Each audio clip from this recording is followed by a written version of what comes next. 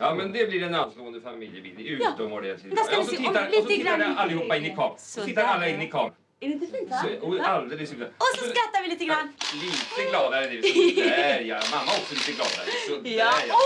Åh! Utmärkt. Så ja. Där, nej men akta håret. Ja, Så, ja. Där sitter den. Ja. Ja, är vi inte klara då kan hända? Jo, jag skulle trucklera. Ja. Det är bra så. Men flickorna är vi i alla fall färdiga. Vad duktiga ni har varit hörni. Tack ska ni ha. Hej då. Duktiga var Ja. Hej hej. Men ska vi inte ha eh, pappa och mamma nu i Jo, soffhörnan där? det ska vi ha. Vi, om ni tar, sitter upp lite, lite, lite mer i soffan. Du kommer så långt Så. Sådär ja. Ska jag göra mig lite liten? Ja, Inte ser ut som Ja. jag. Och så pratar ni lite, Ja, lite, så, lite. så, och så Marianne, kanske fuskar blicken lite. Ser ni, ut som om ni tyckte, ser ni ut som ni tyckte om varandra? Så ja. Så ja. Och så le lite mot varandra. Så där ja. Stilla, stilla, det är bra. Alldeles stilla så. Tack. Ja, nu är jag färdig. Tack så mycket. Ja, bra. Och sen nu hänger du med va, och tar lite Ja, porträtt. ja just det. Ja. Ja hörni, då sätter vi igång va. Jag brukar alltid börja med en standardfråga för att vi ska komma över den första nervositeten. Jag är inte särskilt nervös. Ja men desto bättre. Alltså, frågan är hur skulle ni vilja beskriva er själva i några få ord? Ja, det var ju inte lätt. Ah, så svårt är det väl inte heller va? Ja, det är så lätt att bli missförstådd. Tror du det? Ja, det kan väl låta som skryt om jag beskriver mig själv som ytterst intelligent, eh, ungdomlig, framgångsrik, välbalanserad, sexig. Eh, en man med världssamvete, bildad, beläst, eh, lysande sällskapsmänniska. Ja. Ja, vad ska jag hitta på mera då? Jag, jag är kamratlig. Kamratlig på ett trevligt sätt även mot de som har det sämre ställt. Jag, jag är sportig. Jag är en god familjefar. Jag är en god son. Jag har inga skulder. Jag betalar mina skatter. Jag respekterar vår regering vad den än hittar på. Eh, Jag älskar vårt kungahus. Jag har gått ur statskyrkan. Är det, är det bra så eller ska det vara lite fler detaljer? Ja, tack, jag, jag är en storartad älskare? Ja, hörni, vi kanske hoppar den här frågan. Du då Marianne, vad säger du? Vad ska jag säga nu då? Ja, jag är gift med Johan och har två döttrar. Mm. Jag, kan inte hitta på något Jo, annat för ögonblick. ta, tänk efter. Ja, jag tycker Johan är väldigt trevlig. Tack, det var ju snällt. Vi har varit gifta i tio år. Ja, Jag har just förlängt kontraktet. Jag har kanske inte samma självklara uppskattning av min egen förträfflighet som Johan, men om jag ska vara ärlig så är jag glad att jag får leva det liv jag lever. Det, det är ett bra liv om du förstår vad jag menar. Ja, vad ska jag säga mer nu då? Vad svårt det var. Hon har snygg figur. Skojar du? Jag försöker ta frågan på allvar. Ja, jag har två döttrar, Karin och Eva. Ja, det har du sagt. Vi kanske ska ta och sätta igång med lite data va? Jag vill ha reda på er ålder först. Jag är 42 år. Du är men 42. Det kan väl ingen människa tro, Jag eller är hur? 35. Mm. Vi kommer bägge från nästan otillständigt borgerlig miljö. Johans far är läkare. Ja, och min eh, mor är mamma i avsevärd grad. Min far är jurist. Eh, det var bestämt redan från början att jag också skulle bli advokat. Jag är yngst i en syskonflock på sju. Mor styrde och ställde ett stort hus. Mera tar hon det lite lugnt. Alltså, gör hon det? Det konstiga med oss båda är faktiskt att vi trivs väldigt bra med våra föräldrar. Vi umgås en hel del. Det har aldrig varit några egentliga konflikter. Nej. Vi kanske skulle ta och tala lite grann om era yrken va? Ja, jag, jag är ju någonting så konstigt som docent vid psykotekniska institutionen, men det kanske inte intresserar. så Jag har specialiserat mig på familjerätt. Jag Mm. jobbar på en stor advokatfirma. Det blir mest skilsmässor och liknande. Men det intressanta med ett sånt jobb är faktiskt Sitt att- still så, precis så. Ta en bild där nu. Just det uttrycket ser du. Ja. Bra, fint. Mm. Usch, vad man känner sig Äsch, det är bara nu i början. Hörni, hur träffades ni? Ja, det får Johan berätta. Ja. Ja, herregud, det är intressant. Ja, det var i alla fall inte kärlek på första ögonkastet. Så. Vi hade väl eh, bägge ganska stort umgänge och så träffades vi på alla möjliga tillställningar. Och... Ja, så var vi bägge politiskt aktiva under åtskilliga år och Yes. spelade en hel del studentteater. Ja. Ja, det var vi egentligen inte något särskilt intresserade av varandra. Jag vet inte. Marianne tyckte att jag var högfärdig. Johan hade just då ett mycket omtalat förhållande med en schlagersångerska. Ja, jo, men det gav honom en viss image och han var lite odräglig. Ja, och Marianne var 19 år och eh, gift med en dumsnut som bara hade den förtjänsten att vara rika pappas pojke. Han var, han var mycket snäll och jag var mycket kär i honom. Och så blev jag med barn nästan genast och Jaså. det gjorde ju sitt till. Ja. Men nu kom det sig att, eh, att det Ja, det liksom... blev vi två. Ja. Ja, det var väl eh, närmast Mariannes idé. Ja, mitt barn dog strax efter födseln. Nej. Då skildes min man och jag med en viss lättnad. Och, och Johan hade just blivit uppsagd av den här schlagersångerskan. Och vi var en aning tilltufsade och ensamma båda två. Så jag föreslog att vi skulle hålla ihop. Och, ja, vi var inte alls kära men vi, vi var ledsna. Och så upptäckte vi då att vi, ja, vi trivdes kolossalt bra tillsammans. Och, ja, dessutom blev vi ganska flitiga i våra studier plötsligt. Mm, så Ja, så, så flyttade vi ihop då. Och våra mödrar, vi trodde ju att de skulle bli hemskt chockerade men de rörde inte en min och de passade tvärtom att bli riktigt goda vänner. Ja, så, så blev vi accepterade då som Johanna och Marianna efter ett halvår gifte vi oss. var vi faktiskt förälskade. Hemskt kära. Vi ansågs närmast som ett idealiskt par. Ja, så har det fortsatt. Inga komplikationer. Ja, vi har aldrig haft några materiella bekymmer. Vi, vi eh, har ett gott förhållande med släkt och vänner på båda sidor. Vi, vi har bra jobb som vi tycker om. Vi, är friska. Så vidare och så vidare i nästan opassande grad. Jag menar trygghet, ordning, trevnad, lojalitet. Ja, ja, ja, det, det är nästan oanständigt lyckligt. Ja, ja. Det är klart vi har våra motsättningar, precis som andra människor. Men i stort sett så kommer vi överens. Men grälar ni aldrig? Jodå, jodå, Marianne grillar. Johan har så svårt för att bli arg så jag kommer av mig. Det här låter ju underbart tycker jag. Va? Alltihop. Det, det var någon som sa senast igår kväll det att, att själva problemlösheten det är också ett svårt problem. Och Det är vi hemskt medvetna om att ett liv som vårt har sina farliga sidor. Farliga sidor, hur menar du då? Eh, hur pass eh, engagerad? världen går åt helvete och jag tar mig rätten att odla min trädgård. Jag, jag, jag tycker att jag har rätt att sköta mig själv och strunta i andra. Jag blir illamående när jag hör talas om alla de här nya frälsningsevangelierna. Jag tycker inte som Johan. Alltså, vad tycker du då? Jag tror på medmänsklighet. Skulle du vilja utveckla det en aning? Ja, jag tror att om, om alla människor redan från barnsben lärde sig att bry sig om varandra så skulle världen se mycket annorlunda ut. Ja, sitt stilla. Ta, ha den minen. Så ja. Tack. Titta in i kameran. Så. Tack. Tack. Bra. Tack. tack. Ja. Nu ska ni höra fortsättningen här. Marianne har folkviseblå ögon, liksom självlysande inifrån. Det är sant. Då jag frågade hur hon klarar både hemmet och yrket ler hon lite inåtvänt som bevarade hon en ljuv hemlighet. och svarar lite undvikande att det går bra, att Johan och hon hjälps åt. Ja, det är faktiskt sant, ska jag säga. Det är fråga om samförstånd, säger hon plötsligt och lyser upp då Johan just kommer in och slår sig ner i den vackra familjeärvda soffan. Han lägger beskyddande armen om hennes axel hon smyger sig in till honom med ett leende av trygghet och Så, så, så, så, så, så, så, så. Ja, men nu kommer det allra bästa här.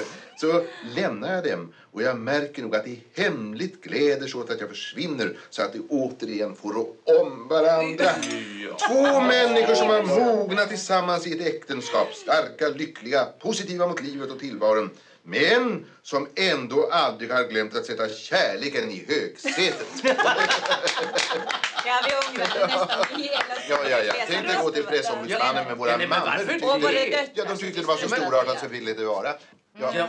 Det enda som irriterar mig väldigt är att det inte står någonting om mina ögon. Ser du ingenting hemlighetsfullt ljus i mina ögon? Jo, de är så Jag tycker mer det är som ett mörker. Det är ganska sexigt faktiskt. Ah, ah, ah, ah, akta dig, Katarina har blivit så förtjust i dig på sista tiden. Johan, vill du rymma med mig? Jag tycker det vore väldigt skönt för Johan med lite omväxling. Han har haft det så äktenskapligt nu i tio år och aldrig hoppat över skaklarna. Och är du så säker på det? Visst, jag bestämde mig för att tro på allt vad Johan säger från första dagen. Ja, där hör du Katarina. Men Johan ljuger säkert mycket skickligare än du. Min lilla dumma älskling. Jag har ingen fantasi, tråkigt nog. Nej, nej, nej, det är just det. Folk utan fantasi de ljuger mycket bättre än folk som har för mycket. Alltså Peter han pryder sina redogörelser med alldeles för mycket detaljer. Ibland blir jag nästan rörd. Jag läste just din eh, artikel i Teknisk tidskrift. Till och med jag förstod vad det rörde sig om. Ja, men Daggrund, det var faktiskt Katarina som hade skrivit den. Så klyftig du. Vad trodde du? Nej, Det var så att jag var i Tyskland och så ringde de och ville ha en artikel på momangen och ja, så Katarina satte sig ner och skrev den. Ja, hon läste upp den för mig i telefon. Ja, men varför står det din artikel om det, Katarina, som är skriven? Ja, men alltså, Ja, men- Det är inget uttryck av kvinnoförtryck. Vi jobbar ju alltid ihop. Inte sant? Gör vi inte det? Av, avundsvärt tycker jag. Ja, det skulle du inte säga om du visste hur vi har det med varandra. Just nu är det för jävligt rent ut sagt. Ja. Skål Katarina lilla gumman. Skål för dig.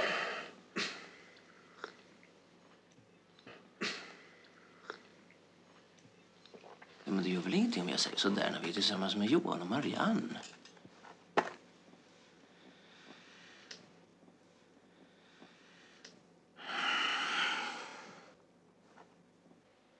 Vad är det, Katarina? Va? Ingenting? Ingenting alls? Tycker bara att Peter är så förbannat klumpig ibland. Ordet var klumpig.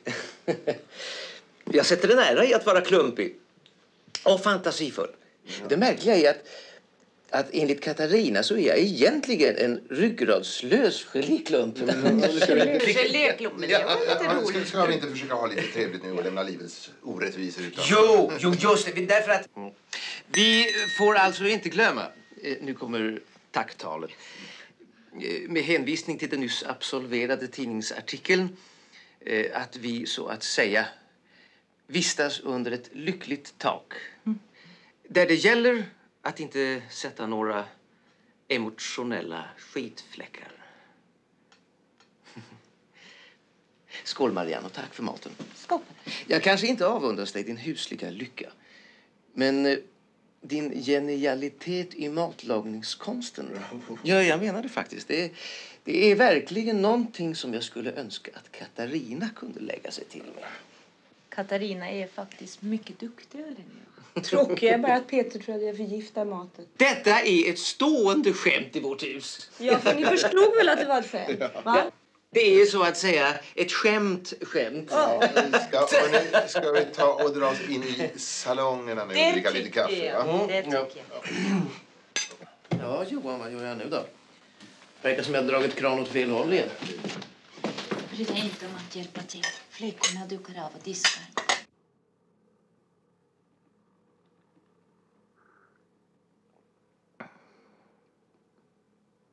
Egentligen är det alldeles förbannat gripande. Vad är det som är gripande? I ett äktenskap. Johan och Marianne och Marianne och Johan. Det är så rörande så man blir gråtfärdig. Sanningen att säga så får man lust att sticka en nål i er vackra ballong. Skulle du göra dem? Skål för er. Skål på. Vi har varit gifta i tio år, inte sant?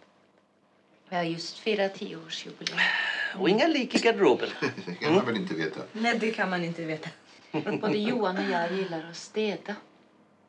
Ja, där hör du, Katarina. Det är det som du och jag har varit lite för slarviga med. Städningen. Men nu ska det bli andra bullar av. I nästa vecka så ringer jag till Marianne och beställer tid. Så får hon ordna vår skilsmässa. Mm. Tråkiga är ju bara att Peter hinner ångra sig innan han nyktrar till. Då börjar nämligen räknemaskinen på att rassla. Och den säger så här. Jag ska gå med på skilsmässa om Katarina släpper kravet på tillgångarna i Schweiz. Och då säger jag, ja men det är ju mina pengar. Det är jag som har förtjänat dem. Och då säger Peter, det är jag som har mångfaldigat dem. Och du kan ta hela fabriken. Säger jag, det var ju hyggligt. Låta mig få en fabrik i Italien som bara blir mer och mer osäker ju mer arbetskostnaderna stiger. Snälla Katarina, jag har Då sagt säger hela Peter, du tiden kan ta att du... hela skiten i Sverige. Med lägenhet och sommarställe och sportstuga och båt och bil och aktier och obligationer. Då säger jag, det är ju jävligt hyggligt. och låta mig få hela lasset med skatteobjekt. Förlåt mig snälla ni om jag tar upp vår trevliga samvaro med så här triviala detaljer. Men alltså när Peter börjar tala om att göra upp, då vet jag hur mycket han har druckit. Precis hur långt vi har kvar till förolämpningarna. Men det är ju det jag har sagt hela tiden. Katarina hon är affärsman. Med lika betoning på bägge orden. Affärsman. Eh, dessutom så är hon en genialisk konstnär. Och dessutom så har hon en intelligenskvot på... Jag, jag vet inte vad. Och hon är ju snygg också. En praktkaraktär. I praktförpackning. Hur jag någonsin har fått komma mellan benen på detta monster av perfektion, det är mig en gåta. Tycker jag faktiskt att vi ska ringa på en taxi och åka hem. Det Nej, kan omöjligt nej. vara roligt för Johan och Marianne att sitta och höra den här scenen. Nej, men si- nej, Johan och Marianne. Nej, men de har små röda sidenband om magen och små rosetter på ryggen precis som vår barndoms marsipangrisar. det, det är mycket nyttigt för deras moral att få blicka in i helvetets nedersta krets.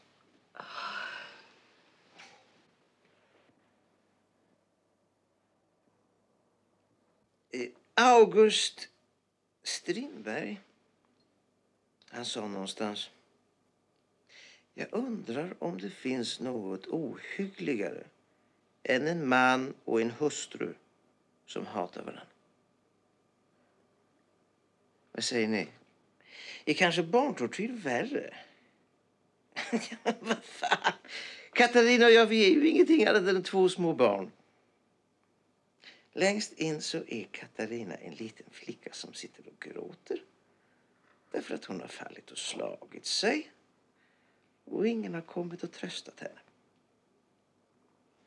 Och jag sitter i det andra hörnet och har inte vuxit upp och gråter därför att Katarina inte kan älska mig. Trots att jag är stygg och elak mot henne. Ja, en sak kan man i alla fall vara glad för. Och det är att man säkert vet att det inte finns något jävligare än det här. Jag Därför tror jag nog att vi är mogna för skilsmässa. Förutsatt att du tar ditt förnuft till fånga. Förutsatt att vi samtidigt i varandras närvaro och tillsammans med några tillförlitliga vittnen skriver på alla papper. Så att inte den ena kan sätta fast den andra. Vi ringer dig i veckan. Mm, det. Vi har en utmärkt affärsjurist på kontoret, Borglund om du vet vem det är. Han kan hjälpa er med de ekonomiska frågorna. Mm, ja, vad säger du, Katarina? Även om vi kommer överens i det ekonomiska så kommer du aldrig att släppa mig. Det vet jag. Tror du att du är så jävla oumbärlig, min bästa Katarina? När har du kommit på de tankarna? Det skulle vara intressant att veta. Kan du inte tala om det för mig? Det är för oss. Tvinga mig i alla fall att ligga med dig. Eftersom du inte kan få till det med någon annan kvinna. Ditt behov av dåligt samvete, det är gränslöst. Men nu när det är slut med Jan så har du väl haft lite panik, eller hur älskling? Nu har du bara gamle Peter som bryr sig om dig. Och som har det rätta tålamodet. Så du tror att du är ensam? Nej, men det var ju rörande. du tror att jag inte har några andra? Jag ska tala om en sak för dig, Peter. Förlåt mig snälla ni om jag blir lite rakt på sak. Men Peter utmanar verkligen sanningen och kan behöva lite upplysning. Jag ska tala om en sak för dig, Peter. Det är att du äcklar mig så fruktansvärt. Jag menar fysiskt. Jag skulle kunna köpa mig ett ligg var som helst bara för att skölja ut det i mina könsorgan. Så går en dag ifrån vår tid och kommer icke mer. Och än en natt med Herrens frid till jorden sänkes ner. din jävla Men du förbliver den du var, o Herre, full av nåd. Och våra nätter, våra dagar, du tecknar i ditt råd, vad som nu kan menas med det.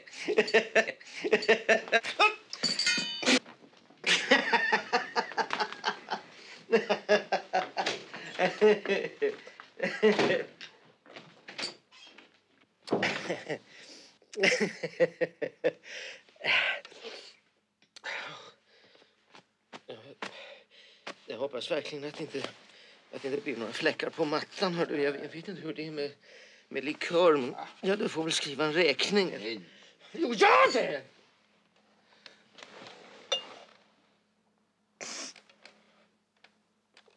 Snälla Johan, vill du vara snäll hälla upp en kopp kaffe åt mig? Jag är, jag är ganska berusad. Du måste förlåta oss. Vi brukar inte uppföra oss på det här sättet, men, men ni är ju våra bästa vänner.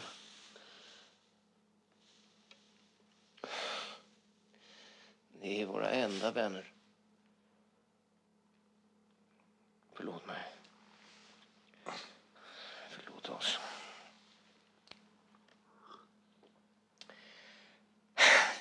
Nu ska du ringa efter en taxi. Så ska jag ta min bakantina med mig hem så kan vi fortsätta avsluta vår scen. Finalen brukar inte vara särskilt lämpad för publik. Hur mycket klockan? Tio över tolv. Tur vi fick veta. Ja, det blir lite väl festligt på slutet tycker jag. Johan, tror du verkligen att två människor kan leva tillsammans hela livet? En jävla befängd konvention som jag ärvt. Jag vet inte varifrån. Man skulle ha femårskontrakt eller avtal som löpte från år till år som man kunde säga upp. Skulle vi också ha det då?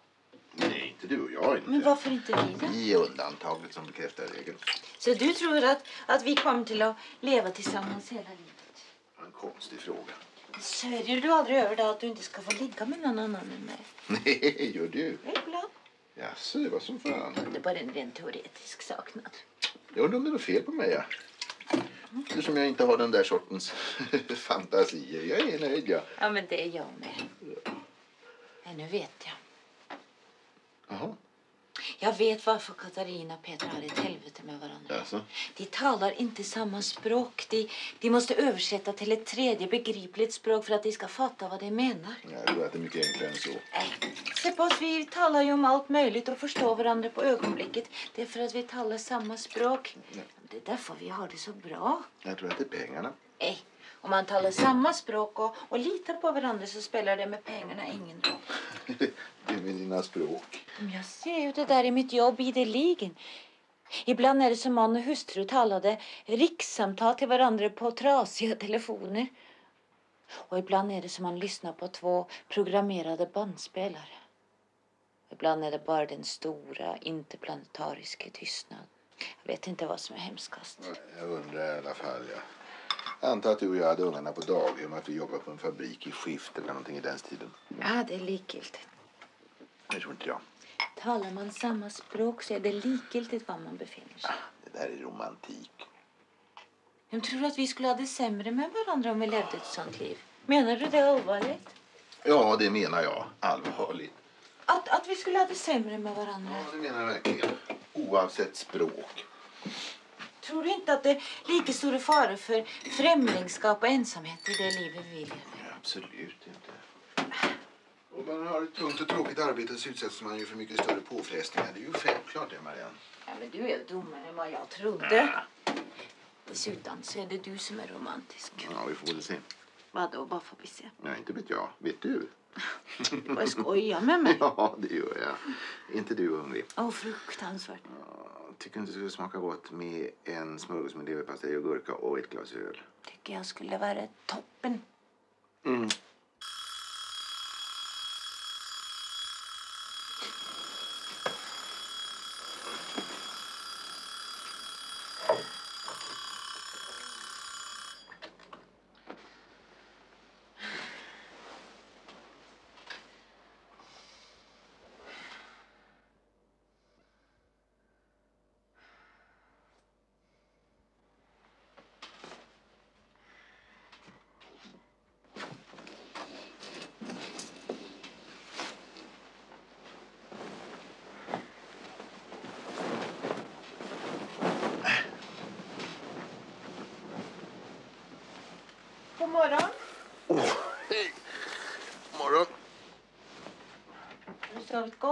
Som en stock och du.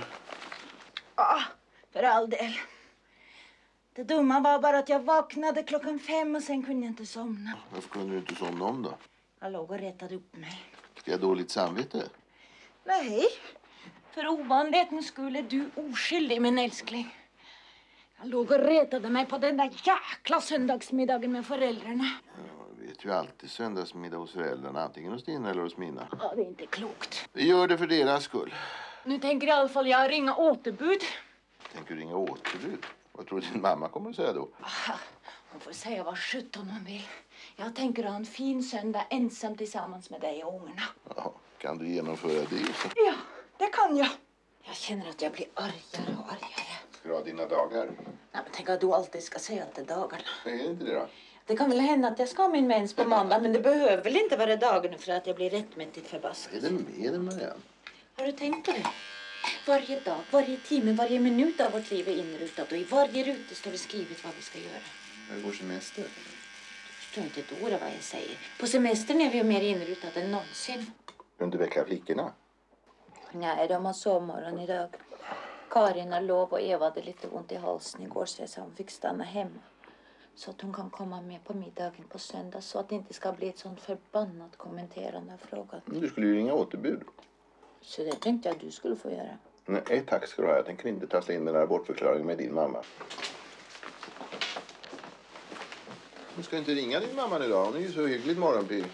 Kom inte överens om att det var du som skulle ringa Nej men älskling, ring nu. Jag ska hålla dig i handen och vara ditt moraliska stöd. Så ringer jag. Men känn hur hjärtat åkar i bröstet. Stora revolutionens första späda skott.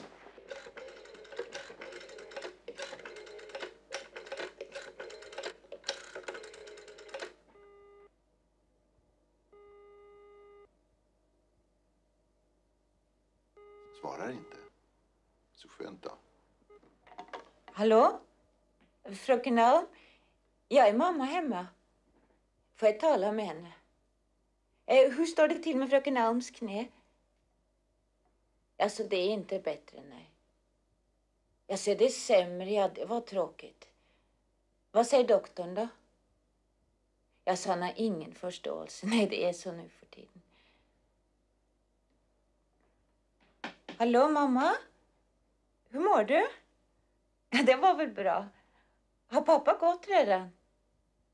Jag visste han skulle ut på landet. Ja. Vågar du släppa ut honom iväg så ensam då? Jag sa han har Erik med sig. Ja, det var väl bra. Jo, hör du mamma, det är en sak jag tråkigt nog måste tala med dig om. Just det. Hur kunde du gissa det? Vad vi har för skäl? Jo, det, det är bara så att jag vill vara tillsammans med Johan och barnen en hel söndag. Nej, vi ska inte resa bort någonstans. Nej, vi vill bara inte komma på middag.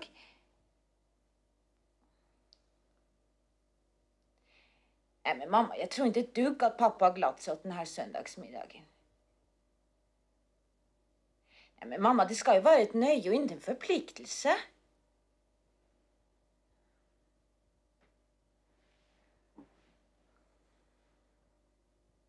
Ja, jag förstår. Jag förstår. Ja, det hade du faktiskt inte talat om. Måttligt förtjust om jag ska vara ärlig. Nej, nej, nej, glöm hela saken, mamma. Nej då, nu kommer vi som bestämt. Ja då, det går så bra så. Ja, det passar utmärkt. Ja, vi gläder oss. Ja då. Hej då, snälla mamma. Hej, hej. Revolutionen kvävdes i sin linda. Faster Elsa kommer till stan. Hon har inte varit där på ett halvår. Hon hade särskilt glatt sig att få träffa oss. Hon har med sig en present till dig. Och så hade mamma bett fru Danielsson komma och laga middagen. Och så hade pappa glatt sig in i helvete för att få träffa dig. Jäklar! Jag tycker du var modig i alla fall. Vi ringer återbud en annan gång. Nu ska du inte vara ledsen inte. Kommer du hem till middag? Nej, det är bättre vi ses på teatern. Vi träffas 20 över 7 biljettluckan. Tycker du inte om att komma hem längre? Men det var väldigt vad allt var komplicerat just idag. Åh, jag skulle vilja att vi stannade i sängen en hel vecka och bara höll om varandra. Och så skulle vi gråta båda två. Men vi har inte valt den sortens liv. Om jag bara vore säker på att det var vi som hade valt och inte våra mammor. Nej, Men du har modersförföljelsemani. Ville du att ditt liv skulle bli så här? Ja. Tänk om du och jag började bedra varandra. Men snälla Marianne. Ja, vad skulle du göra då? Slå ihjäl dig förstås. Och ibland önskar jag Vadå? ingenting. Vänta ett tag, jag följer med dig. Nu, är det inte bättre att du tar din egen bil? Nej, nej, så kan vi åka hem från teatern tillsammans. Det är mycket bättre. Ja, men flickorna då? Ja, fröken Andersson kommer idag. Jag ringer henne från stan och så kan jag be henne laga mat. Hon lagar underbara pannkakor. Vänta ett tag så ska jag väcka flickorna. Ja, men jag har bråttom. Ett minut bara.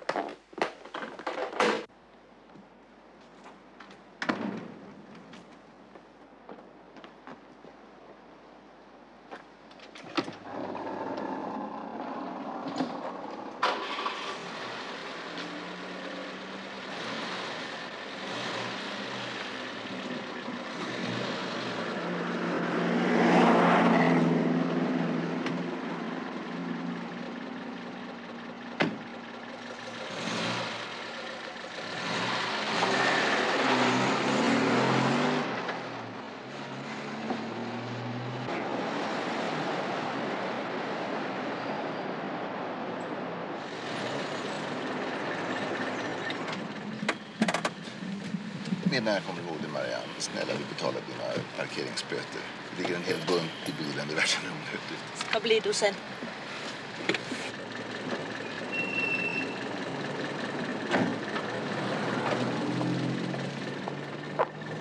Vi ses på teatern då.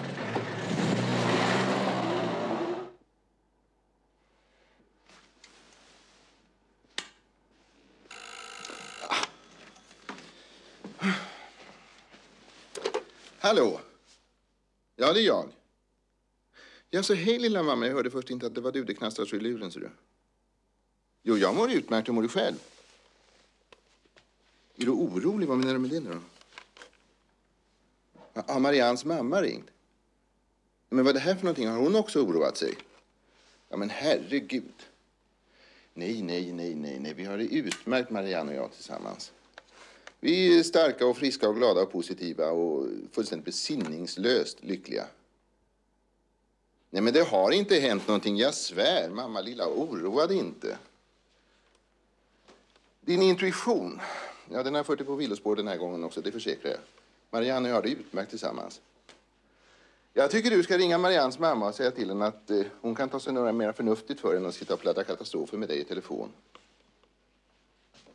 Ja, men mamma lilla, jag har lite bråttom just nu. Ja. Ja, vi ses. Vi tittar upp på fredag eftermiddag som avtalat är, ja. Hälsa pappa. Usch. Jävlar.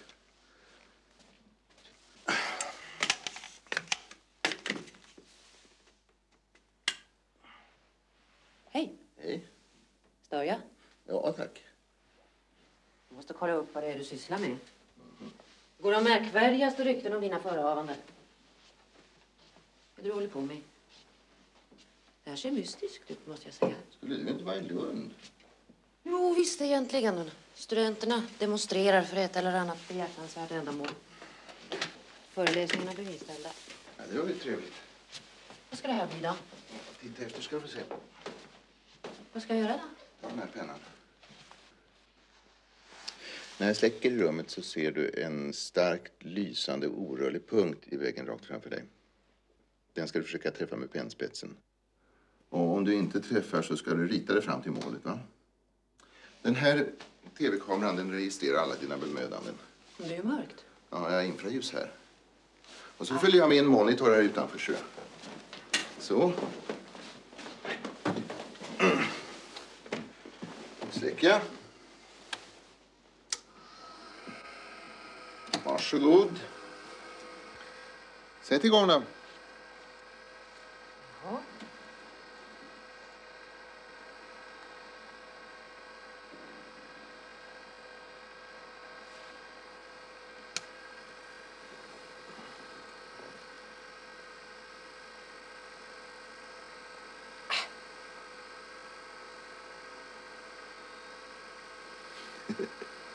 Nej, hörru, retas du med mig? Nej, nej, nej, nej. Fortsätt bara nu, hörru. Ja, men vill du vara snäll och hålla... hålla... Den rör ju på sig. Nej, nej, nej, nej, nej. Det är inget skoj det här. Den ser alldeles stilla, ser du.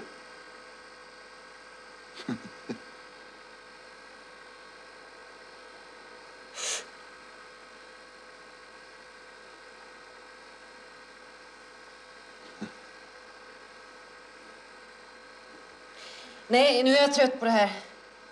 Tänder du snäll? Vad arg du blev. Det här var ju obehagligt. Ja, just det. Man blir lite nervös till slut. Det är ganska lustigt, va? Titta ska du se. Här har du irrat omkring allt mer irriterad. Ja. Och vad lär vi nu av detta? Ja, det får vi se. Här är bara början det.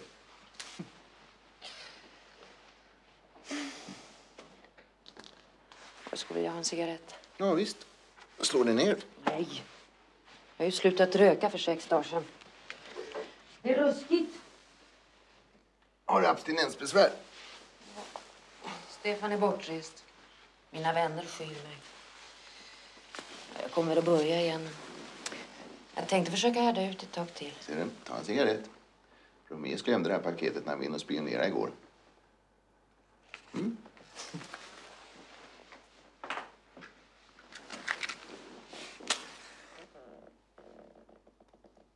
Så, ja.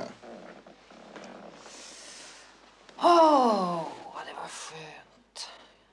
Gud, vad det var gott. Nå.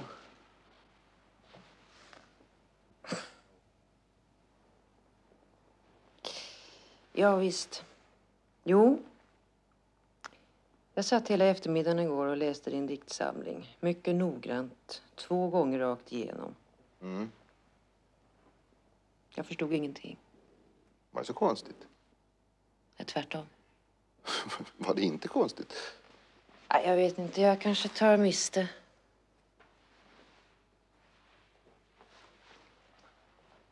Har Marianne läst dina dikter? Nej, du är den enda som har fått se dem. Marianne är inte intresserad av poesi. Hon borde vara intresserad av dig. Ja, det är hon nog, men inte på det sättet. Nej. Jaså du? Ja, men det är väl inte så märkvärdigt. Du och jag har varit kamrater sedan studentåren. Vi har inte haft några intima relationer. Av dig kan jag få ett objektivt omdöme innan jag går till förlaget och försöker få dikterna tryckta. Det tycker inte jag du ska bry dig om. Är, är det så dåligt? Det är inte det att det är dåligt, va? Johan. Om det hade varit så väl, höll jag på att säga. Du menar att det är likgiltigt? Du menar att det är blekt och prydligt och menlöst? Du menar att det är lite privat gnäll, lite själslig onani? Vi var flera stycken i vår grupp som trodde det skulle bli något märkvärdigt av dig. Vi tyckte du var fenomenal. Du gjorde snabbare framsteg än någon av oss andra. Vi beundrade dig och var till och med lite avundsjuka. Ja, vad har det med dikten att göra? Nej, ingenting. Det kom bara för mig. Det är inte så att du har läst dikterna under intrycket av dina abstinensbesvär. Men Du verkar ju jävligt stressad nu. Det är väl möjligt. Ja, jag tänker i alla fall visa dikterna för några fler så, innan jag kasserar dem. Men lilla Johan, det är väl självklart? Jag tänker skicka dem till flera olika förlag så att jag får deras dålighet ordentligt dokumenterad. Du blev bestämt ganska sårad. Ja, men tacka fan för det. Förlåt mig då. Det finns i alla fall en som gillar dikterna. Så. Nähä, vem är det? Jag är nyfiken. Va?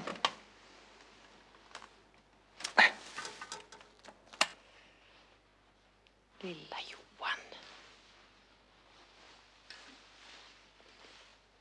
Lilla Johan. Bryr dig inte om vad jag har sagt. Ja? Det är bara nikotinbesvär, säger vi. Ja, just det. Nej, adjö då, lilla gubben. Jag lämnar manuskriptet till porten. Hälsa Marianne. Kom ihåg att jag gillar dig. I alla väder. Ja, det är hyggligt. Hej då. Ah, ja, men du, då ses vi där lite över havet, va? Hej då. Hej. Förlåt, fru Jacobi, att ni fick vänta. Ja, visst. Nu så här, första gången så försöker vi bara ställa själva problemet och sen får vi se hur vi kan lösa det. Jag vill skiljas. Hur länge har ni varit gift? I över 20 år. Har fru Jacobi arbete utanför hemmet? Nej, jag har varit hemmafru som det heter. Varför vill fru Jacobi skiljas?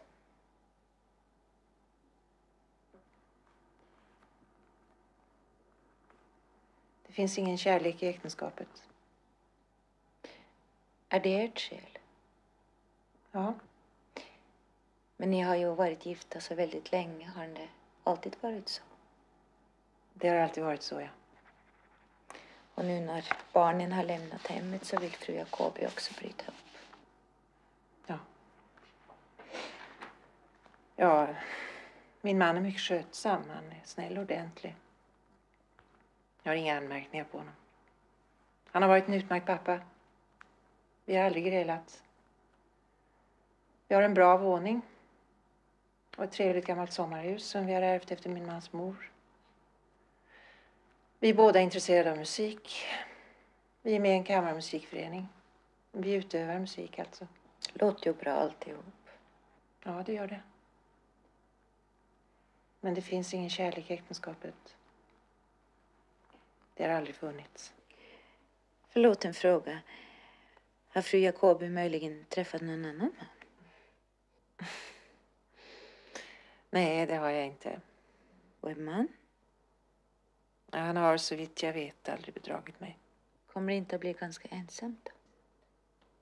Jo, det tror jag nog. Men jag tar hellre den ensamheten än jag fortsätter i ett äktenskap utan kärlek. Har ni talat om för en man att ni vill ha skilsmässa? Ja, det är klart. Redan för 15 år sedan så sa jag till honom att jag inte ville leva med honom längre eftersom det inte fanns någon kärlek i vårt äktenskap. Han var mycket förstående. Han bara bad att jag skulle vänta med skilsmässan tills barnen har blivit vuxna. De är vuxna nu alla tre och har flyttat hemifrån. Så nu kan jag alltså ta ut min skilsmässa. Och vad säger han då?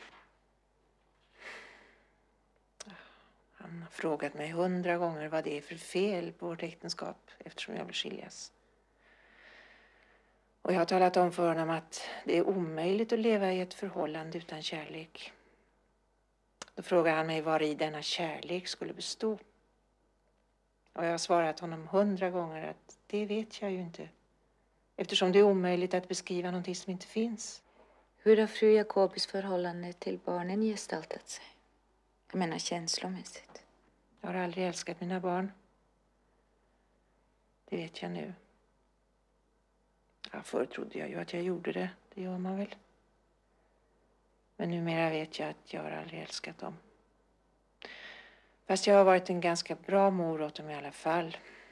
Jag har gjort så gott, så gott jag har kunnat. Fast jag inte har känt någonting för dem.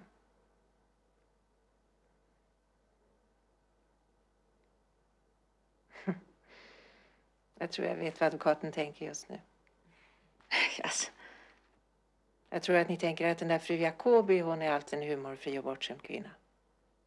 Hon har allt vad man kan önska sig i världen. Men hon upphör inte att bråka om något diffust och fjärran som hon kallar för kärlek. Det finns ju annat. Vänskap, kamratskap, trivsel, trygghet. ja, jag tänkte kanske något i den vägen. Ska tala om en sak för advokaten. Jag går omkring med en föreställning om mig själv. Och den stämmer inte på någon enda punkt med verkligheten. Förlåt en fråga, en, en personlig fråga. Är det inte så att kärlek...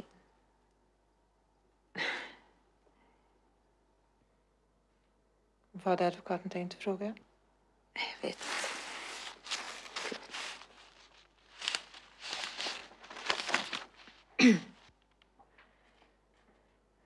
Jo, jag inbillar mig att jag har möjligheter till kärlek. Men allt sammans ligger inneslutet i ett tillstängt rum. Sorgliga är att det liv jag har levat hittills har bara kapslat in mina möjligheter mer och mer. Jag måste slutligen göra något åt det. Mitt första steg måste bli att ta ut skilsmässa. Jag tror att min man och jag hindrar varandra på ett dödligt sätt. Det låter ju skrämmande. Ja, det, det är skrämmande. Det är nämligen något mycket egendomligt som sker. Mina sinnen, ja, jag menar syn och hörsel, känsel, börjar svika mig. Jag kan till exempel säga att det här bordet är ett bord. Jag kan se det, jag kan ta på det. Men min upplevelse är torr, smal. Förstår advokaten vad jag menar? Jag tror jag förstår det. Det är likadant med allting annat också. Musik, dofter, människors ansikten och röster. Allting blir fattigare, gråare, utan värdighet. Nu ska det bli gott med en sup och en bit mat. Försök att komma ur kläderna. Och på över middagen och bara tära en varm korv när man ska kämpa sig igenom en Ibsenkväll. Det kan knäcka en oxe det. Minns du när vi närmast blev portförbjudna hemma för att vi gick i första maj-tåg? Du var mera troende än jag. Och du beskyllde mig för att jag försummade hemmet. Det året vi hade asiaterna allihop. Den gången trodde vi i alla fall på mänsklighetens framtid. Ja, det är ju alltid trevligt att ha en tro, det tycker jag också. Och så hade vi ju den stora glädjen att reta våra föräldrar och det var inte det minst viktiga. Var hemskt argsint på den tiden. Argas var i alla fall din pappa. Nej, du var argast. Söt och argsint. Du var fruktansvärt attraktiv som socialist. Är inte det nu då? Vadå? Fruktansvärt attraktiv. Jo, visste du det. Det är bara det att två människor som lever länge tillsammans tappar lusten lite grann. Tappat lusten har vi väl inte? Det har vi väl inte? Det är väl bara så banalt att vi har för mycket att göra på kvällarna är vi för trötta. Detta var ingen förebråelse, Maja. Jag undrar det. På hedersord. Men vi tycker om varandra på alla sätt. Inte på det sättet. Inte särskilt mycket i alla fall. Och det gör vi visst. Det är bara det att vårt samliv har blivit fullt av undanflykter och förbehåll och förbud. Jag kan inte hjälpa att jag inte tycker det är lika roligt som förr. Jag kan inte hjälpa det. Det finns fullkomligt naturliga förklaringar. Du får inte förebrå mig på den här punkten. Jag mår dåligt som Bli inte så upprörd, Maja.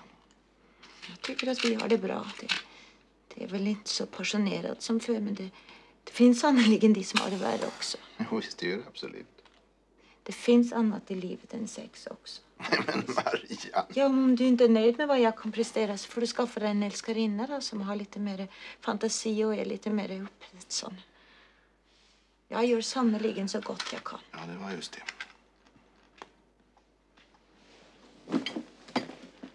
Nej, men nu har du den där minen. Men jag har inte någon min. Den där minen och det där tonfallet. Kläm ur det istället vad du sitter och trycker på. Det lönar sig inte. Du blir bara arg när vi talar om den här saken. Nej, nu lyssnar jag. Fullkomligt objektivt. Jag undrar ibland varför vi krånglar till det här problemet så gräsligt.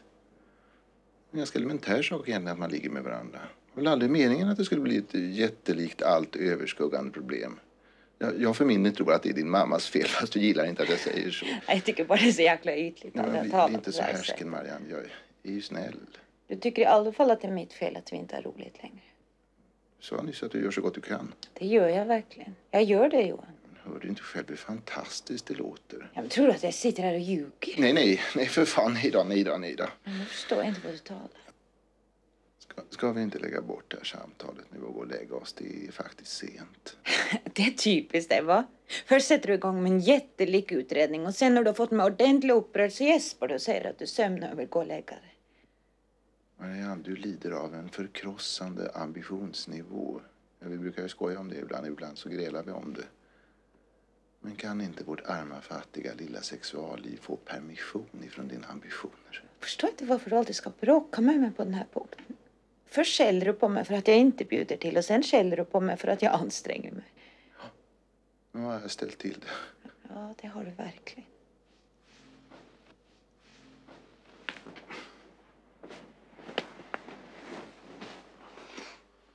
Kan du inte bara lite snäll istället? Det skulle hjälpa mycket bättre. Ja, käraste, var inte ledsen nu inte. Det var dumt av mig att börja röra de här sakerna. Jag ska säga dig en sak. Man, man kan tala för mycket om de här sakerna också. Det kan nog hända. Ja, det heter visserligen att man ska tala med varandra om allting och inte hemlighålla någonting. Men just den här saken tror jag att det är fel. Det har du nog rätt i. Det finns sådana som måste leva sitt liv i halvskymning, skyddat för insyn. Tror du det? Ja, det är fullkomligt övertygat om. Vi, vi sårar varandra och gör varandra ledsna i onödan när vi håller på så här. Och, och sen sitter aldrig taggarna kvar när vi hamnar i sängen. Det, det blir ta mig sjutton som att ligga på en spikbräda. ja, ja. Vad skrattar åt? Spikbrädan. Ja, du kan sitta där och skratta du. Men ska vi inte lägga oss nu då? Håll med om att du har varit ovanligt dum och mallig och taktlös. Jag ber om ursäkt. Tycker du att jag ger dig för lite ömhet? Ömhet tar tid. Så du får för lite ömhet i alla fall. Vi får för lite ömhet. Vi ger för lite. Men det var ju därför jag ville att vi skulle resa på semester tillsammans i sommar. Jag tycker inte ömhet ska vara någon semesterangelägenhet. Du är snäll, fast du är en idiot. Ja, det är väl tur att jag är gift med dig då. Du har dina stora ögonblick, fast dessemellan är det gräsligt medelmåttigt. Ja, det är jag övertygad om. Men vet att i vår ålder kraschar 10 000 hjärnceller om dagen. De blir aldrig ersatta. Hos dig måste det minst vara en miljon så dum som du är. du, du är hemskt söt. Fast du grälar och bråkar så förskräckligt. Ja, jag sover nästan redan. Jag ska bara gå in och se till barnen. Jag sover nästan redan, så var inte orolig.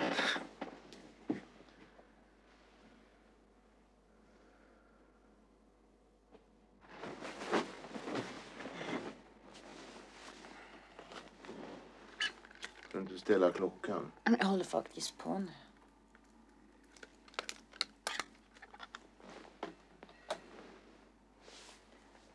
Om du vill kan du få ligga med mig nu. Tack för erbjudandet, men jag är faktiskt väldigt trött. Hörru. Okej.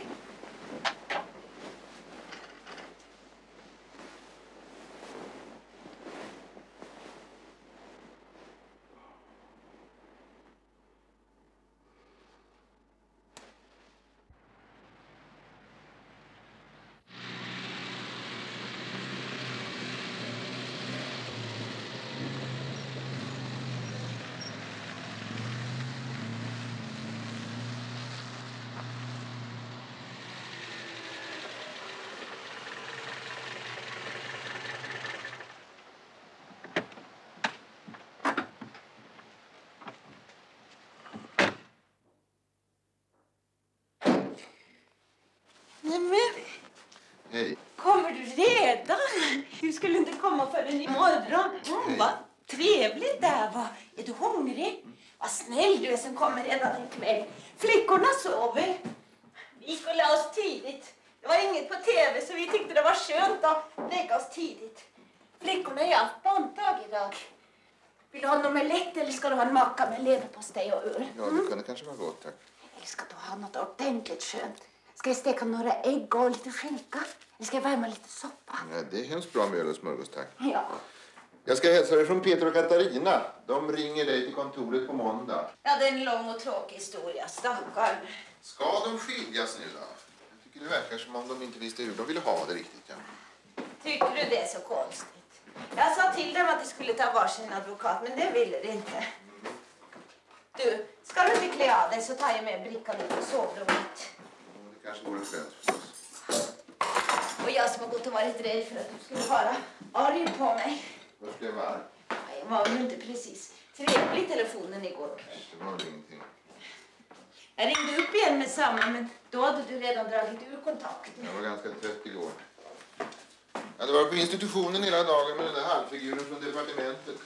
Ibland undrar jag vad det är för idioter som sitter på de statliga anslagen och bestämmer över vårt väl och ve. Jag tycker i alla fall att jag var dum igår kväll. Det tycker jag faktiskt. Jag kan inte strunta i det där.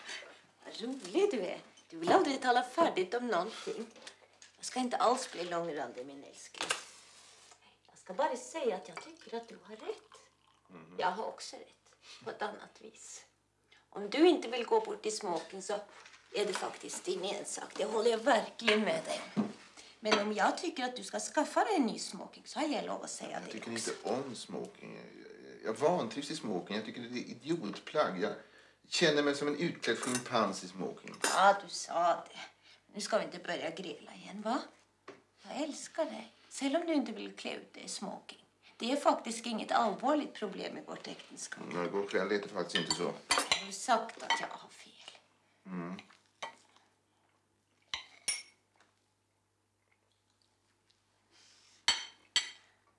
Vad jag blir hungrig jag ser dig äta. Jag får nog ta mig en smörgås, ja, men det kan inte hjälpas. Jag har hungrat så jag är alldeles yr i huvudet. Vet du att jag har gått ner nästan två kilo sista veckan? Så här. Syns det? Det känns i alla fall. Vet du, ibland så tycker jag att det är fullkomligt meningslöst alltihop. Varför kan man inte få unna sig allt som är gott här i världen? Va? Tänk om man fick lov att vara stor och tjock och på gott humör. Minns du moster Miriam och onkel David? ja, de var stora, tjocka på gott humör.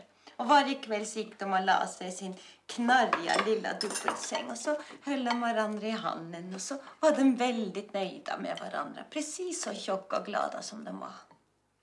Kan inte du och jag bli som moster Miriam och onkel David och bara gå omkring och utstråla trygghet? Men vad är det? Är du ledsen? Har det hänt någonting? Vad är det? Tala om vad det är.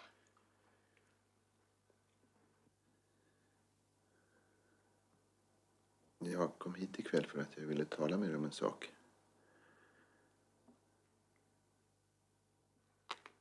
Jag har gått och blivit kär, förstår du. Ja, det är oerhört löjligt. Kanske är det alldeles åt helvete. Ja, antagligen är det åt helvete.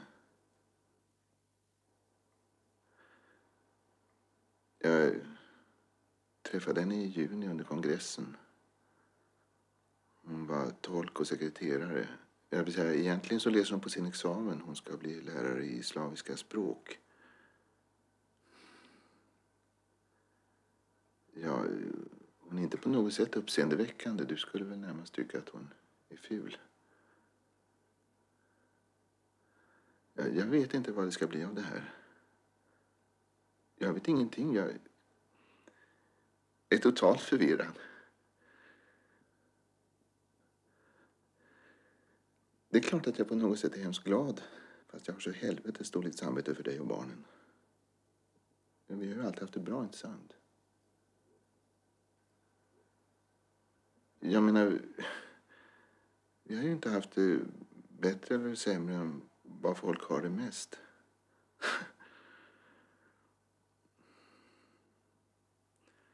Men säg någonting då för fan. Vet inte vad jag ska säga. Ja, du tycker förstås att det är dåligt om att jag inte har talat om det här tidigare, men jag visste inte hur det skulle bli. Jag tänkte kanske går det över. Det är nog bara en tillfällighet. Och... Jag vill inte oroa dig. Det är så konstigt. Vad är det som är så konstigt?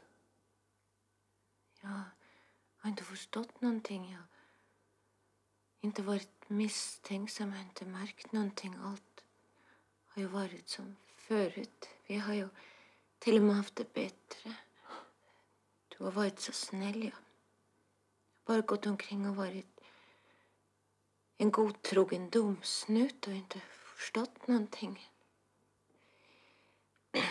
Det är för jäkligt. Nej, du har inte förstått någonting. Men du har ju heller aldrig varit särskilt skarpsynt.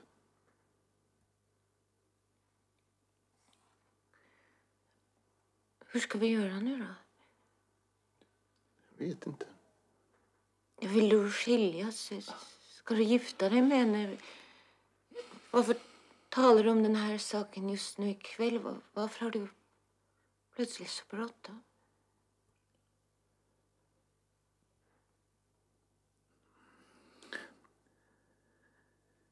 Vi reser till Paris imorgon eftermiddag. Ja, jag vill bort från alltihopa. I alla fall en tid. Ja, jag skulle i alla fall resa ner senare i höst och träffa Grandin och hans assistent. Och... Ja, Paula har fått ett stipendium. Hon tänkte utnyttja det just i höst. Jag vill vara med henne. Jag kan inte vara utan henne. Så reser vi imorgon eftermiddag.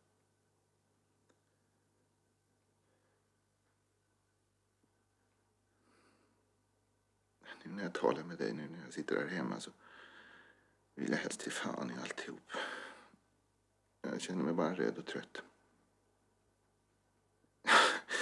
Ingenting kan vara löjligare banalare än, än det här. Jag vet precis vad du tänker. Det finns inga ursäkter. Kan du veta vad jag tänker? Jag försöker att inte ha dåligt samvete. Det är ju bara koketteri i alla fall. Ja, det är så här, Marianne. Det är ingenting att göra åt det. Ska vi lägga oss det sent? Du ska väl tidigt iväg imorgon? Ja, jag har ett sammanträde klockan nio imorgon. Vi går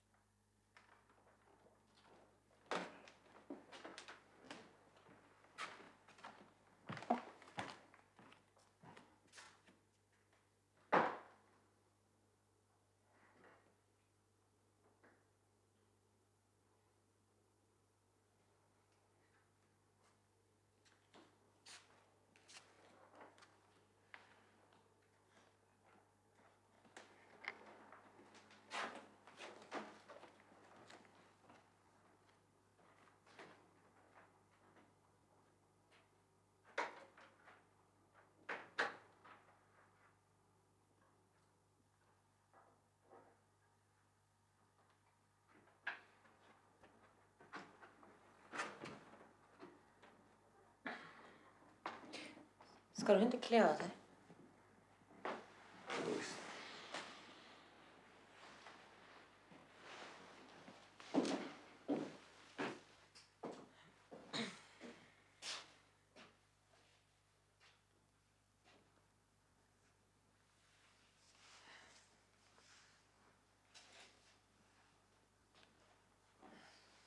Du har märken på bröstet.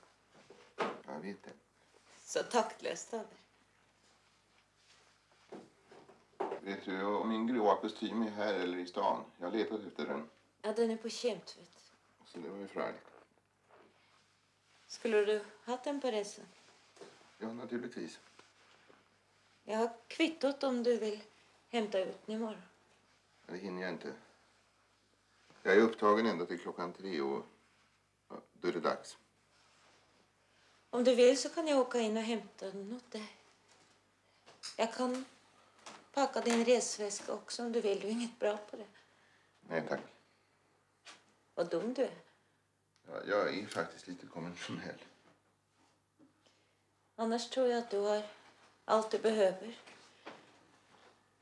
Rena skjortor och underkläder finns här så det kan du ta med direkt. Då kan jag resa i läsen och flanellsbyxorna. Det ser ju snyggt och ungdomligt. Du tycker det så?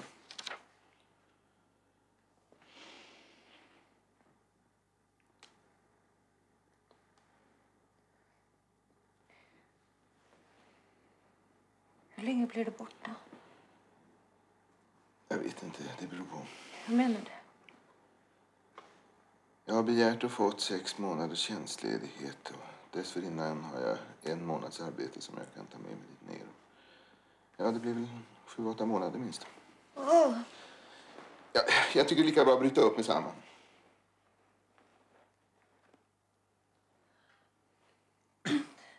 tror du att jag är kvar då när du kommer tillbaka? Ja, det skiter jag i. Vet du hur länge jag har gått med det här? Kan du gissa det? Ja, inte med det här med Paula, men det här med att jag skulle bryta upp från dig och barnen och hemmet. Kan du gissa det? Säg det inte. I fyra år har jag velat bli av med dig. Inte mer. Nej, du har rätt. Det är bara prat.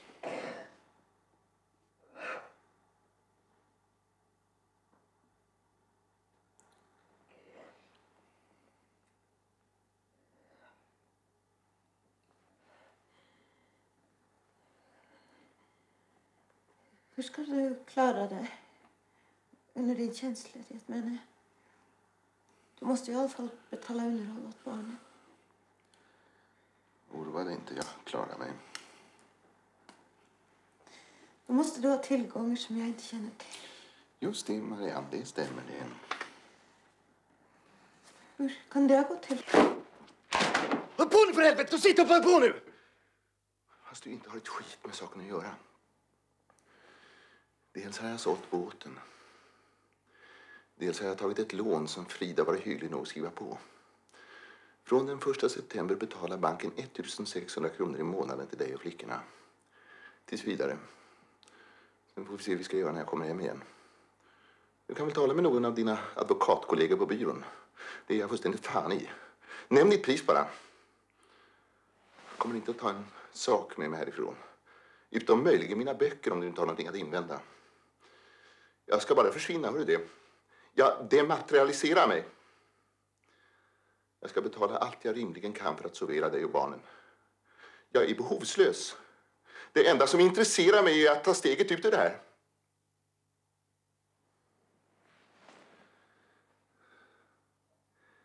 Vet du vad jag är mest trött på av allt?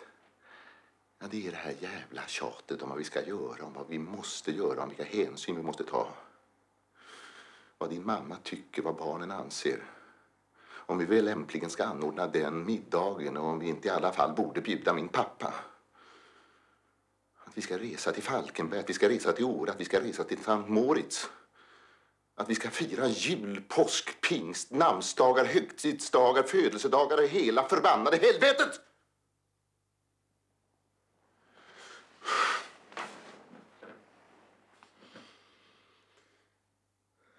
Stackars du. Ja, tack ska du ha. Jag vill inte ha ditt medlidande. Då blir jag på mig hela tiden. Ja, jag tror bara att det är tillgjordhet från min sida. Jag menar det här tomma snackandet. Jag tror inte en minut att jag rör vid någon sanning om oss. Jag tror inte att det finns någon entydig sanning förresten. Allting vad man rör vid och allting vad man säger, det gör ju bara ont.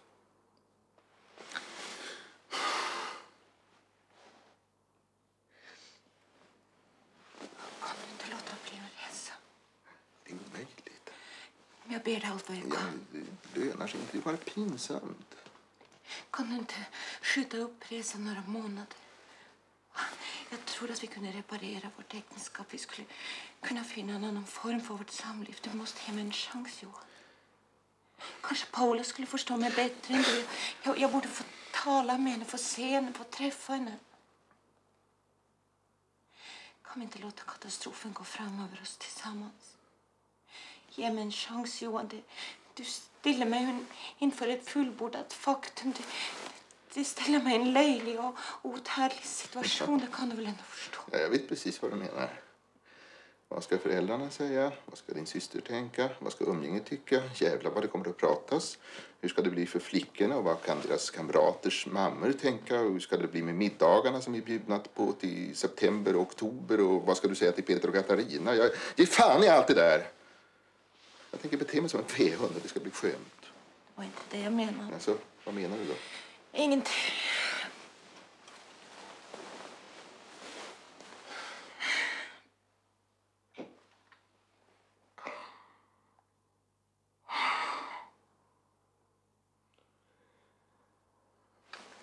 Jag glömde ställa väckarklockan. Nu måste du iväg. Vill du vara snäll och ställa den på halv sex? Jag måste packa en del saker också så ska jag vara på institutionen på ett sammanträde klockan nio. länge tänkt skaffa en ny väckarklocka. Den här bråkar så man nästan får hjärtslag. Inte en pålitlig heller. Så, nu står den på halv sex. Förresten vaknar i alla fall. Behöver inte vara orolig.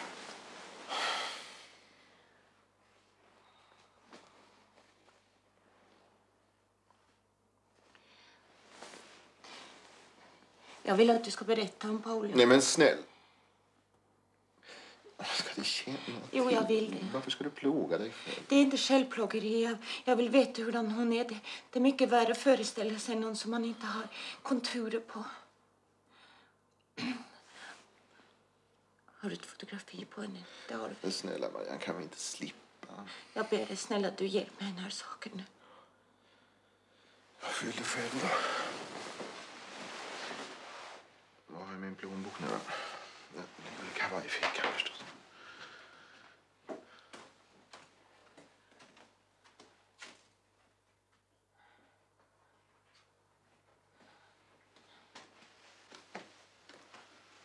Här är två fotografier av henne.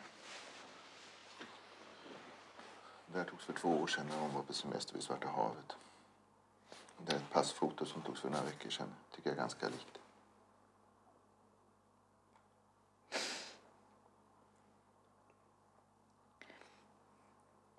Hon har vacker figur. Väldigt vackra bröst, verkar det. Har hon det? Jo då, hon har vackra bröst. Färgar hon hå- håret? Det ser så ut. Jag har aldrig tänkt på det. Det är möjligt. Vackert leende. Gammal är hon då? 23.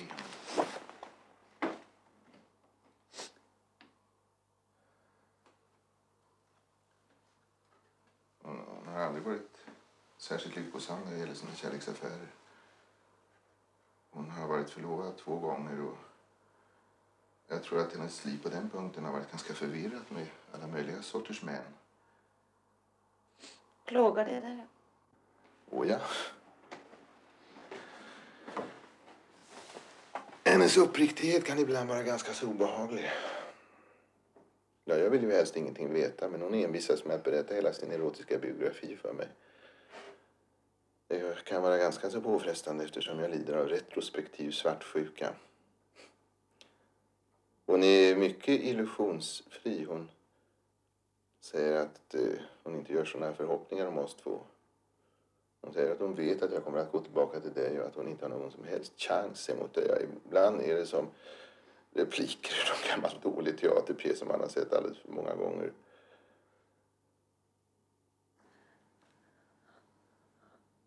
Har ni det bra i sängen.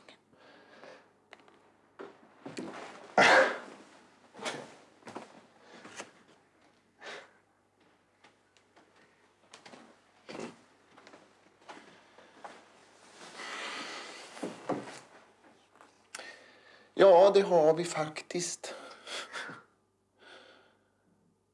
Ja, först i början var det alldeles åt helvete. Ja, det var väl mitt fel också. Jag är ju inte så van. Jag menar med andra kvinnor. och Du och jag har väl skämt bort varandra. Du och jag har flytt in i en tillvaro som har varit hermetiskt skyddad. Allt har varit eh, inhägnat, allt har varit skyddat, allt har fungerat. Vi har dött av syrebrist. Och nu menar du att din lilla Paula ska komma och väcka dig till liv igen? Jag har mycket lite självinsikt. Jag vet hemskt lite om tillvaron, fast jag har läst en massa böcker. Men jag tror att den här katastrofen kan vara både din och min stora livschans. Du. Är det Paula det som har intalat dig sådana dumheter? Hur naiv tror du egentligen det får lov att vara? Vi har mycket lite användning för tråkningar och sarkasmer i det här samtalet. Har du alltid rätt? Förlåt mig. Jag försöker ju. Jag, jag, jag försöker ju vara så uppriktig jag kan. Och det är förbanne inte så lätt inte.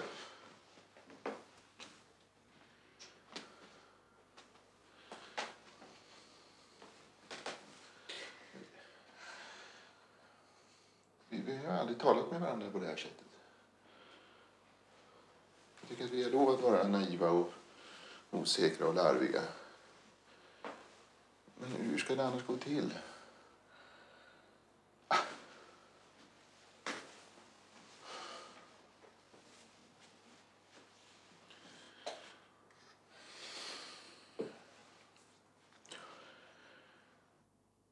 Du har verkligen rakat till dig.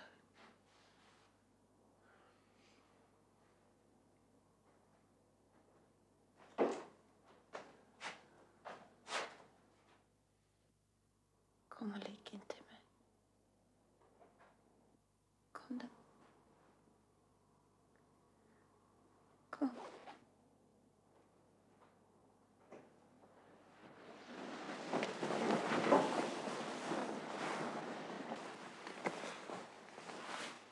Jag vill du ska ligga med Kan du välja upp? Gammal vänskapskväll. Mm.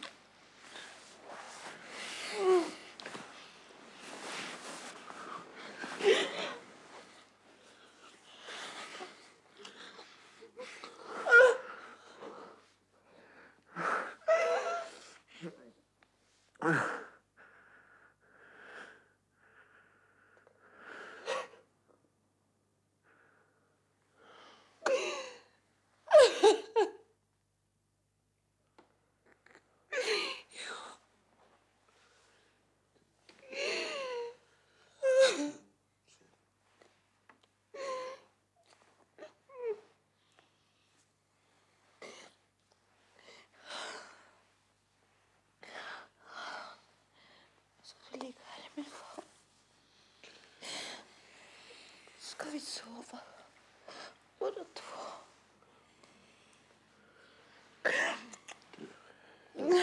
Jag tror inte jag kan sova här. Det är bättre att jag packar och ger mig iväg genast.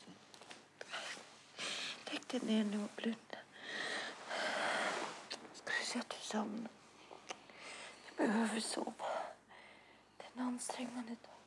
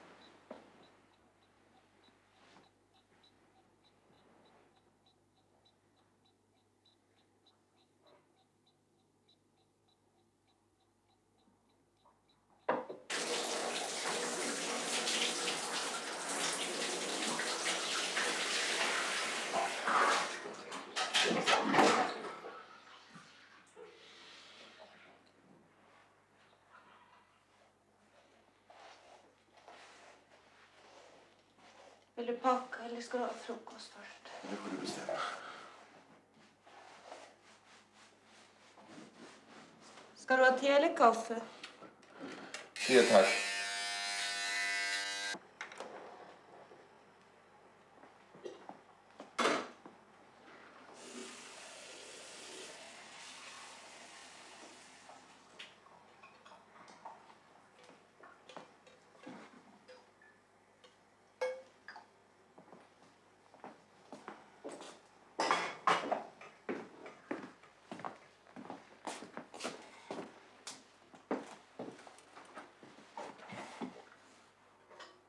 Ska jag göra med din post? Jag skriver till dig och talar om min adress. Sen kan du vara hygglig och eftersända riktiga brev. Räkningar och sånt kan du vara snäll och betala genom postgirot.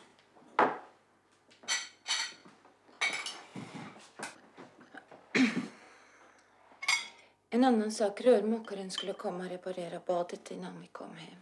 Har du talat med honom eller ska jag ringa? Ja, du skulle kontakta honom men jag menar du har kanske glömt bort det all röran.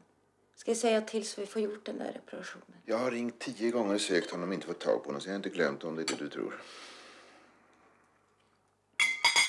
Vad ska du göra med din bil? Ska du ha den i garagen kanske? Jag har bett Paulas syster ta hand om den. Ja, det är onödigt att den bara står och hon har just flyttat utanför stan. Jag förstår.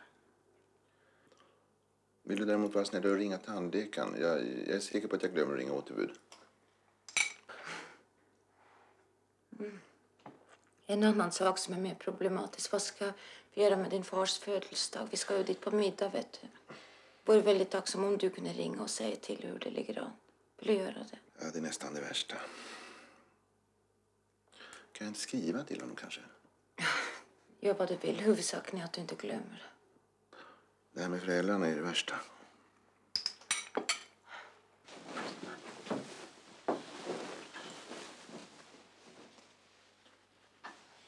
Vad ska jag säga till flickorna? Säg vad du vill. Ska jag berätta för dem att du har förälskat dig i en annan kvinna och stuckit iväg Det från är en oss? utmärkt formulering. Har dessutom den förmånen att vara sann. Jag, jag väntar mig ingen förståelse från det hållet. Du, jag måste fara nu om jag ska hinna före morgonköerna till stan. Ja. Hej, hej då, Maria. Sköt, sköt bra om dig, va? Hej då. Hej. Jag kanske är tillbaka om en vecka. Om det vore så väl. Vi skulle börja om från början med allting.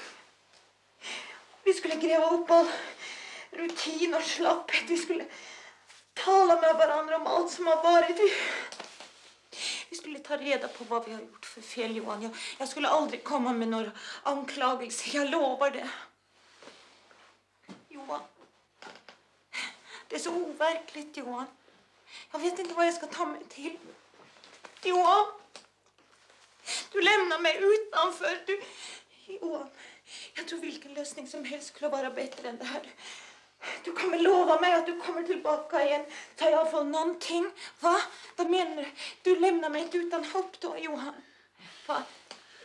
Även om du inte tänker komma tillbaka så kan du väl säga att du kommer tillbaka? Jag Va? måste gå nu. Marianne!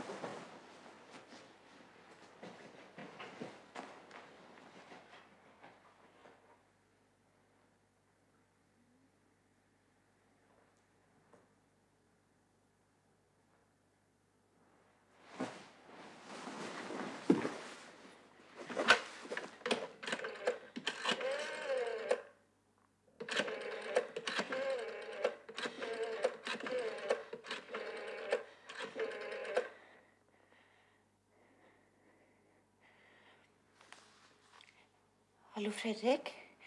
Det är Marianne. Förlåt att jag väckte er. Är Birgit där? Nej, nej, det är ju ingenting. Låt henne bara sova. Hur har ni det då?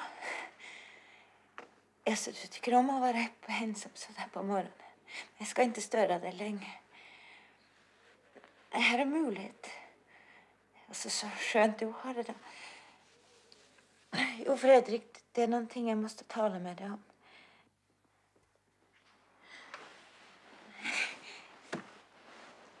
Måste bara ha någon att tala med.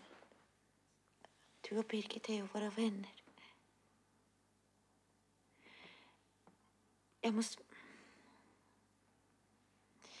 Jag...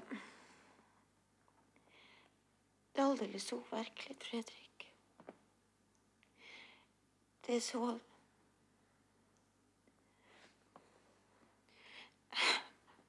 Jag håller bara på att börja gråta hela tiden och jag vill inte gråta smärta det blir bara mycket värre.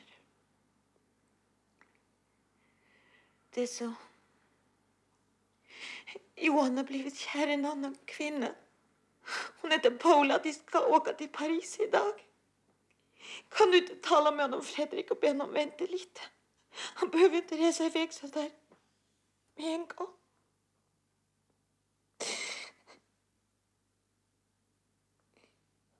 Säger.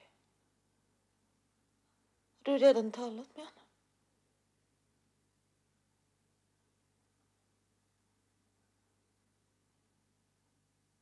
Jag förstår.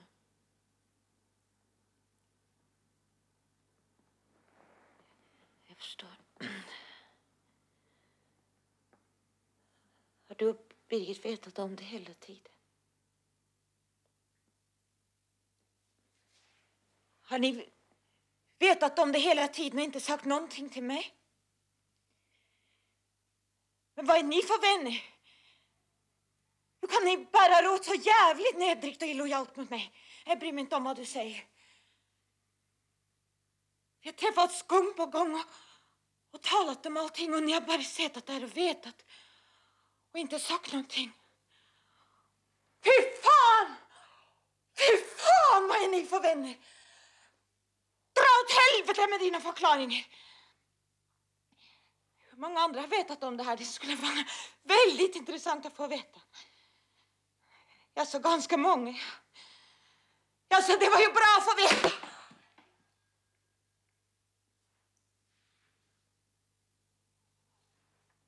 Åh!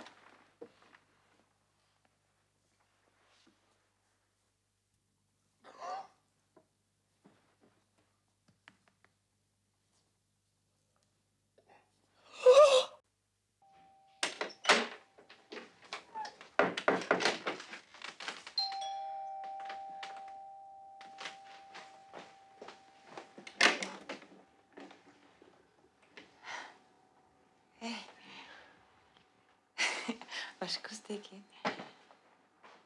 Söt du är. Vilken fin blus. Tycker du det? Jag köpte den för några veckor sedan. Jag tyckte om den då, men nu är den lite flickaktig. Den klär dig utmärkt. Ska du inte klä av dig? Det blir så nervöst att stå här och konversera. Jag är också nervös. Jag har inte kunnat ta mig för mig riktigt på hela dagen. Det är verkligen komiskt. Det var- Det var ju så länge sedan, det var ett halvår sedan. Hur kom det sig att du så där plötsligt? Paula i London en vecka. Vill du ha något att dricka? Ja, tack. Jag gärna ha en whisky. Ren whisky utan liksom har det. Det är skönt för magen, jag menar, så att man lugnar ner sig lite. Dricker du whisky nu för tiden? Ja, kan man tänka sig. Ja, skål. Hej. Jag har bett moster Berit ta hand om flickorna. Ska sova där över natten till ömsesidig förtjusning.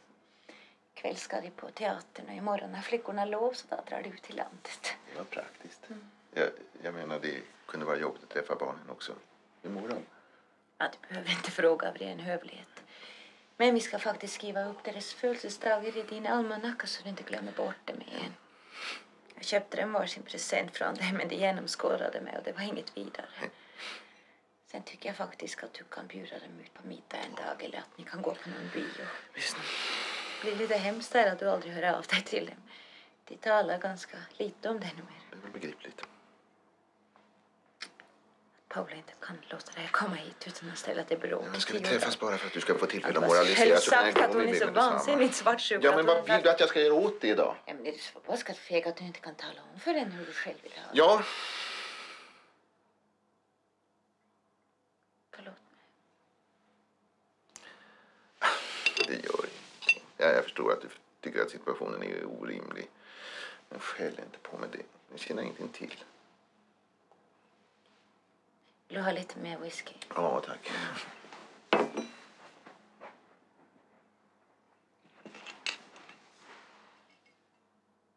Hur har du det annars då, Johan? Det är som vanligt det. Hur har du själv? Tack, jag klagar inte. Det kunde vara värre. Det kanske var dumt att jag ringde och föreslog att vi skulle träffas. Det finns ingenting vi kan tala om utan att göra varandra illa. Då har jag ett utmärkt förslag. Vi äter. Va? Vi är säkert vansinnigt hungriga båda två. Det är därför vi är lite stingsliga. Det var ett väldigt bra förslag.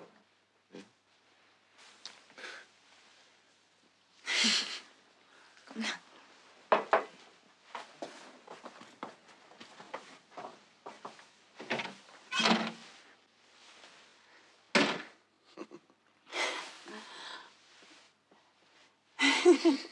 ser inte klok ut i den här frisyren.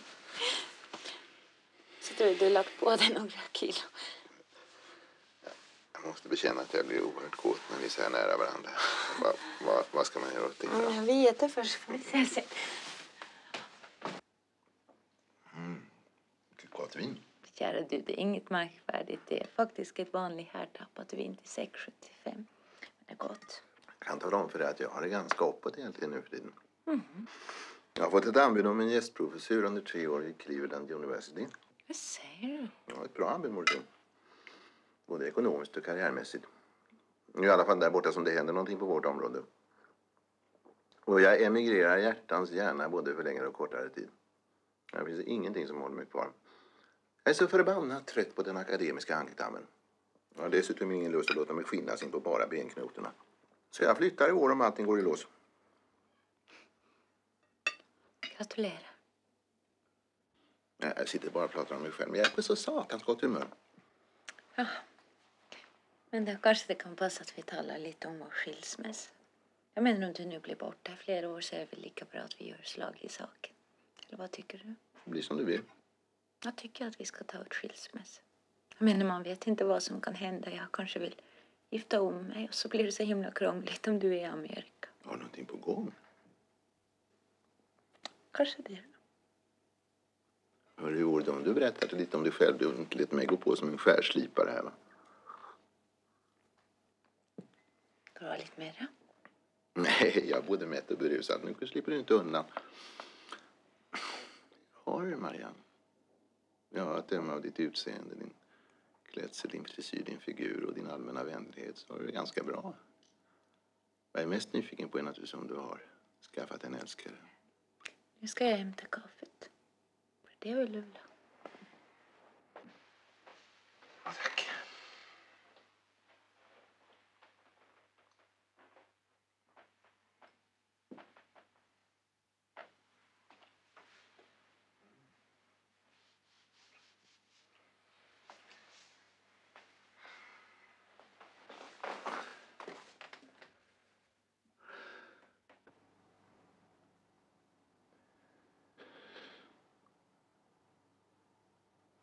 Ja.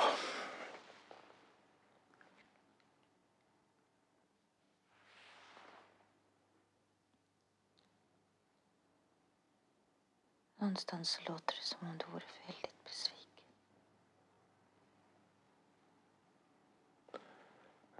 Det var som du tror.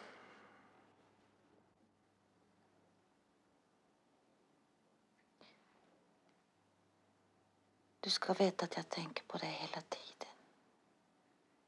Och undrar om du har det bra. Eller om du är rädd och ensam. Varje dag, flera gånger om dagen undrar jag vad jag gjorde för fel så att det blev som det blev mellan oss. Jag vet att det är barnsligt sätt att tänka.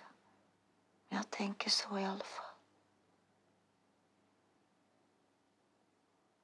Vad var det jag gjorde för fel? Varför frågar du inte en psykiater? Jag går hos en läkare som också är psykiatriskt utbildad ett par gånger i veckan. Ibland träffas vi utanför praktiken. Är det han som är din älskare? Vi har legat med varandra några gånger men det var totalt misslyckat så vi slutade med den sortens försök och ägnade oss åt mitt intressanta själsliv istället. Men vad har ni kommit fram till då? Ingenting. Jag försöker framför allt att lära mig prata. Och så kastade jag ut dina möbler och flyttade in på ditt arbetsrum. Om du visste vad jag hade dåligt samvete. Samtidigt som jag kände mig väldigt djärv. Ja, men det var ju alltid ett resultat i alla fall. Men är du trött? Det var en väldig gäspning. Ja, förlåt mig. Det är väl vinet bara. Sen har jag inte sovit på några nätter. Och så det är väl spänningen också lite Du, Om du vill gå hem så får du gärna göra det. Men var inte dum nu. Kan du inte ta det här lite naturligt? Vill du lägga dig och sova lite på soffan? Det kan du väl göra, så väcker han Det en var ett timme. himla tjat om den här stackars enstaka gäspningen. Jag vill inte alls sova. Jag vill mycket hellre sitta här och höra dig berätta om dina resor i ditt inre. Ja, det är mycket intressantare, jag lovar dig. Det är inte så mycket att berätta. Fast någonting konstigt har jag kommit på. Men det har jag inte talat om för doktorn för det kom jag på igår kväll. Ja, men det låter hemskt spännande. Att förstå det. Han har sagt åt mig att jag ska skriva ner sånt som kommer för mig. Allt möjligt utan inbördes ordning. Funderingar och minnen och drömmar. Vad som helst. Det har inte blivit så mycket än för det är väldigt svårt att skriva. Man, om man inte är van, det blir så stelbent och så hittar man inte rätt ord och så tycker man att det låter väldigt fånigt alltihop. Man kan inte läsa upp det där du skrev igår kväll. Jag, är hemskt gärna på så. Men vill du det? Vill du verkligen det? Ja, men är det säkert det? Ja, ja. ja vänta ett tag så ska jag hämta boken. Jag skrev i flera timmar, förstår du. Och så, sen så somnade jag inte förrän klockan tre. Jag ser ut som ett spöke när jag vaknade i morse. Jag tänkte det är väl typiskt nu när jag äntligen ska få träffa dig efter så lång tid. Du är fantastiskt söt. Verkligen söt, Marianne. Nej, men inga komplimanger du. Nej, nu ska vi intressera oss för mitt själsliv istället. Mm. Bara gå och sätt dig nu. Ja. Mm. Ja. Ska gå och sätta dig kanske.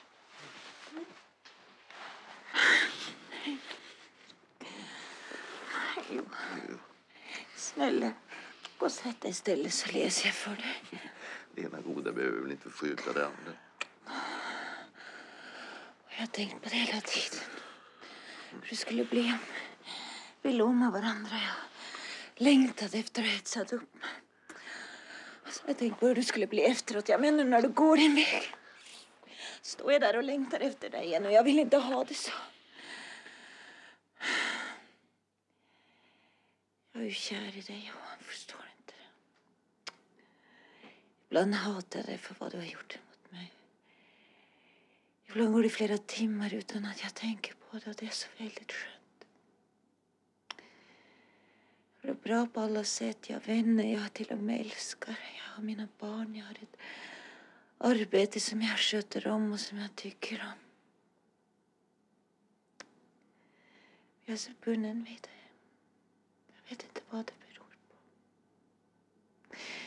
Jag kanske är någon pervers självplågare eller jag är kanske bara den trogna typen som fäste mig en gång i livet. Jag vet inte. Det är så svårt, Johan. Jag vill inte leva med någon annan än dig.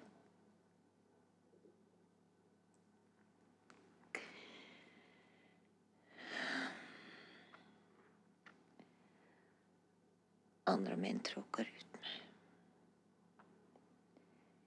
Jag säger inte det här för att ge dig dåligt samvete eller för att utsätta dig för någon känslomässig utpressning. Jag vill bara tala om för dig hur det är. Därför blir det outhärdligt för mig om vi börjar kyssa varandra. Om vi ligger med varandra. Jag kan inte förklara det på något annat sätt. Sen går du din väg och så står jag och längtar efter dig igen. Det har varit så bra nu när jag haft dig lite på avstånd. Det har till och med varit lite trevligt. Så vi ska inte hålla på att ta på varandra. Då blir det alldeles omöjligt och sen går det din väg igen. Jag är ju... Jag är ju fortfarande kär i dig. Säger du så? Det är ju inte sant. Tror du inte att jag längtat efter nästan varje dag under den här tiden? Jag har inte gjort det. Vi hade det bra tillsammans. Ja, det var vi alltid vänner och vi hade det roligt och fint tillsammans. Ja, om vi tycker om att ligga med varandra så varför skulle vi inte göra det? Det visar ju bara att vi längtar efter varandra. Marianne, Varför ska man ha en massa förbehåll? Varför ska man tänka på hur det känns dagen då? Är det inte hemskt dumt, Marianne? Nej. Johan, jag vill. Johan, Johan, jag vill absolut inte. Jag vill inte gå här och tråna och gråta och längta efter dig. Johan, du får försöka förstå det. Det är verkligen så, Johan. Ingenting är dummare än det här. Om du envisas så kan du lika gärna gå hem. Det är säkert, Johan. Jag vill inte ligga med dig. Jag vill inte. Försök att förstå, snälla. Åh. Försöker ju förstå fast jag förstår inte.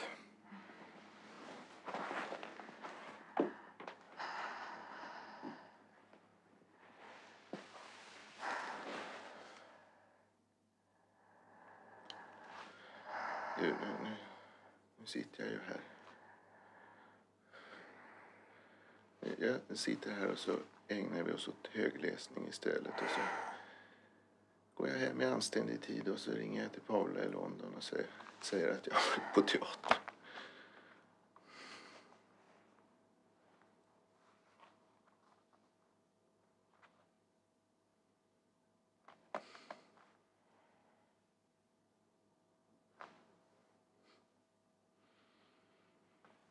Du kan ge mig lite mer kaffe.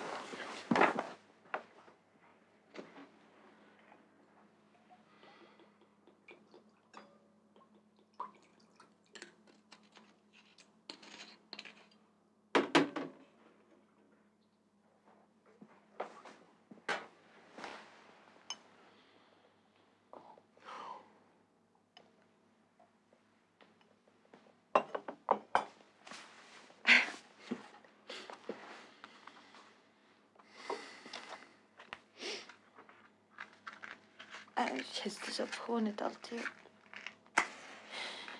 Jag vill bara gå och gömma mig. Jag, jag vill bara gråta. Ja. Om du vill så går jag min väg nu så träffas vi imorgon och äter middag tillsammans eller någonting. Ja, det är kanske är bättre. Förresten, du ska stanna ju. Imorgon går det inte heller.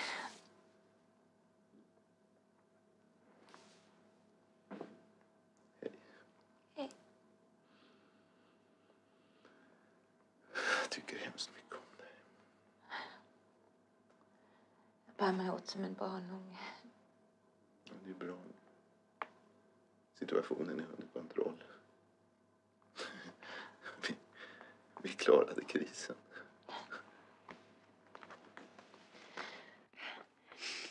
Jag skriver ju så slarvigt. Jag kan inte läsa min egen handstil. Här i början är inte så viktigt. Igår greps jag plötsligt av en nästan övermodig munterhet. För första gången på hela det här året kände jag den gamla lusten att leva. Hela nyfikenheten på vad dagen kunde föra med sig. Så vidare och så vidare. Jo.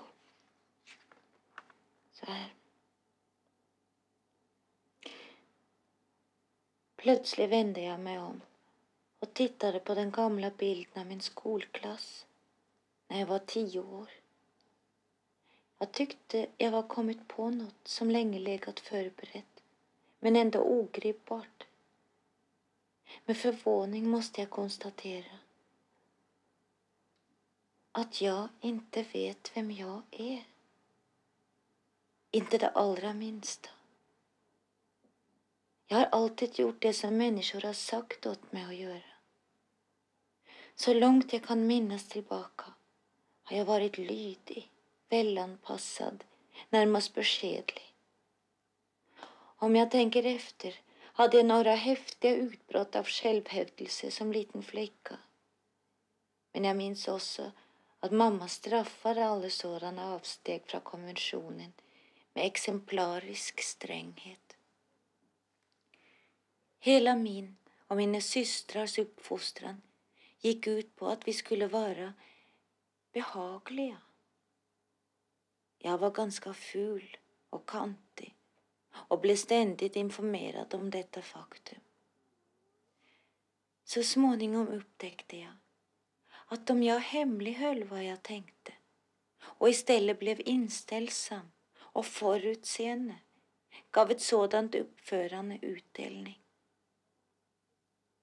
Den verkligt stora förfalskningen inträffade likväl i puberteten. Alla mina tankar, känslor och handlingar kretsade kring erotik. Men jag förrådde inte detta med ett enda ord till någon av mina föräldrar, till någon överhuvudtaget. Sedan utvecklades lögnerna, hemlighållandet, bortvändheten av bara farten. Min far ville att jag skulle bli jurist som han själv. Jag antydde någon gång att jag helst av allt ville bli skådespelerska. Eller i varje fall att jag ville ägna mig åt teater på ett eller annat sätt. Jag minns att jag blev utskrattad. Sen har min förställning bara tilltagit.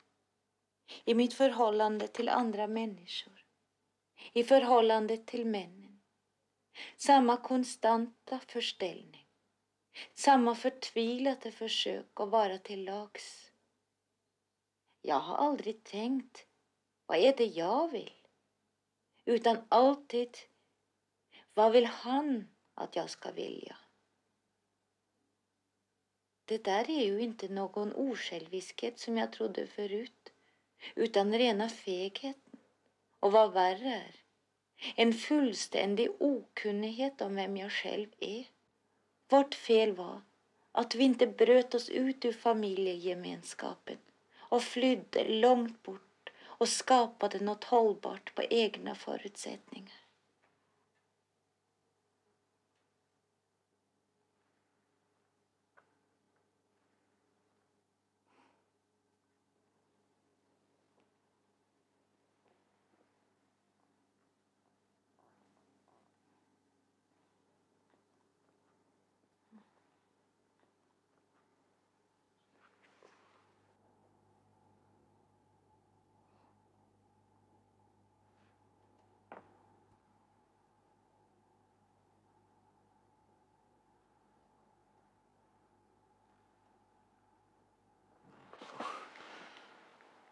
Fan också att jag skulle somna. Jag, jag tyckte det du läste var verkligt intressant. Kan, kan du förlåta mig? Kan du inte, kan du inte läsa lite mer? Jag, jag förstår att du är väldigt sårad, men kan du inte läsa lite mer i alla fall? Jag tycker du ska gå hem och sova nu. Jag är inte alls sårad. Jag lovar.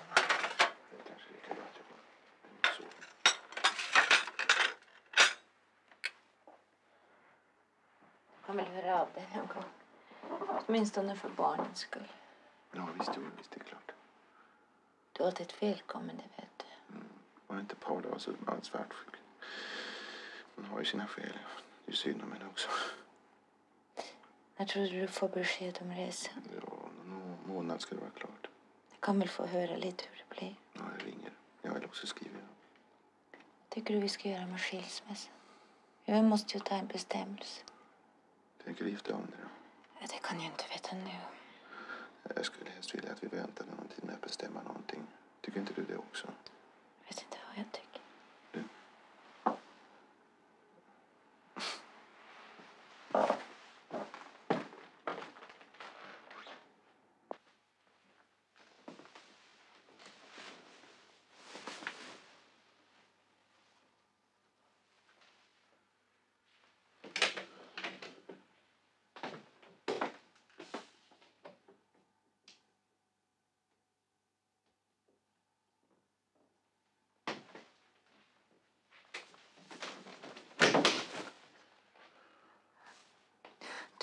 Hos mig något. Det gör du väl? Jag sover hos dig i natt. Det gör jag nog.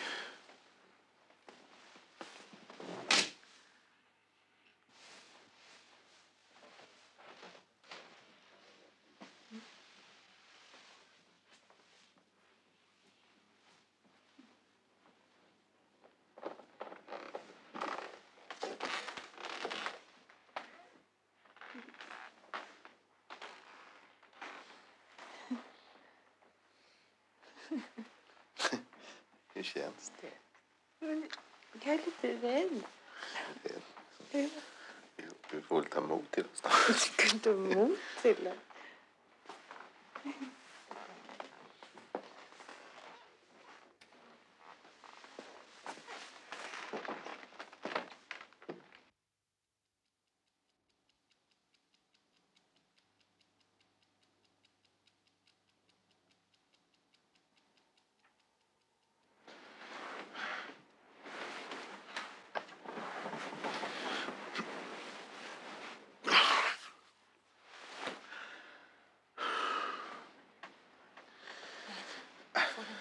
Nej, det är omöjligt. Det är lika bra att jag går hem. Jag att ligga här. Förlåt mig, förlåt mig.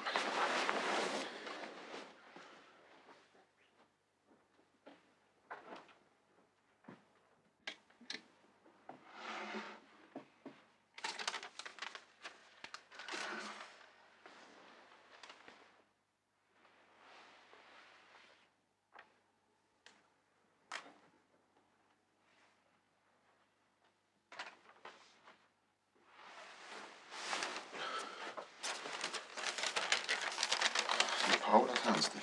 Det är ett brev från Paula till mig. Vad hittar på för tråkigheter nu då? Jag fick det för hon reste till London. Du ska läsa. Du ska läsa det här. med.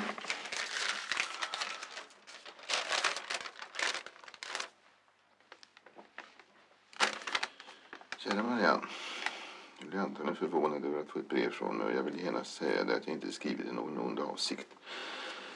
Jag tog det här uppdraget till London för att kunna vara borta någon vecka och därmed bryta en ond cirkel av svartsjuka och misstänksamhet. Jag, jag vet att Johan kommer att söka upp dig i samma ögonblick som jag försvinner.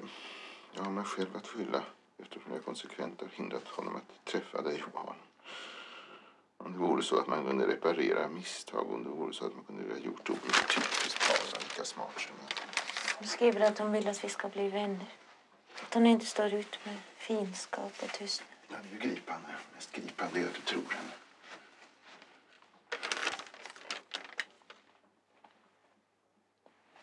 Johan är den mjukaste, snällaste och mest ömsinta människa jag någonsin mött. Han saknar alldeles självförtroende. Fast han vill verka så duktig och modig och aldrig beklagar sig. Jag har märkt att man kan säga vad som helst om vem som helst. På något sätt stämmer det ju alltid.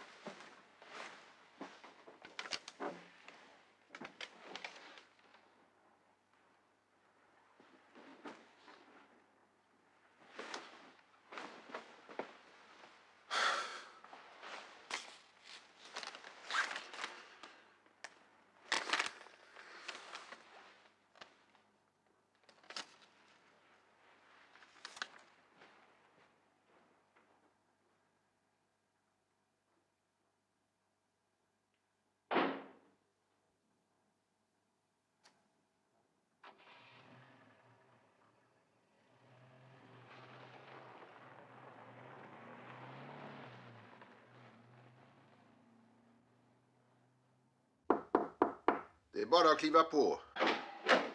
Det var väl fint att vi kunde mötas här på ditt arbetsrum så sparar vi tid, inte sant? Jag är inte vidare trivsamt precis inte. Passar utmärkt till genomgång av skilsmässopapper. Titta nu här, det här är själva avtalet som Henning har upprättat. Det är ordagrant så som vi gemensamt har beslutat. Ja, då behöver jag väl inte läsa igenom Ja, det. man ska alltid läsa igenom för man skriver under. Nej men vad du är sur. Jag är inte sur. Jo, du är ruskigt sur. Och här är förteckning över gemensamt förvärvade inventarier och hur vi sinsemellan har delat upp dem. Det, det är bara en lista för minnet, det behöver inte skriva under.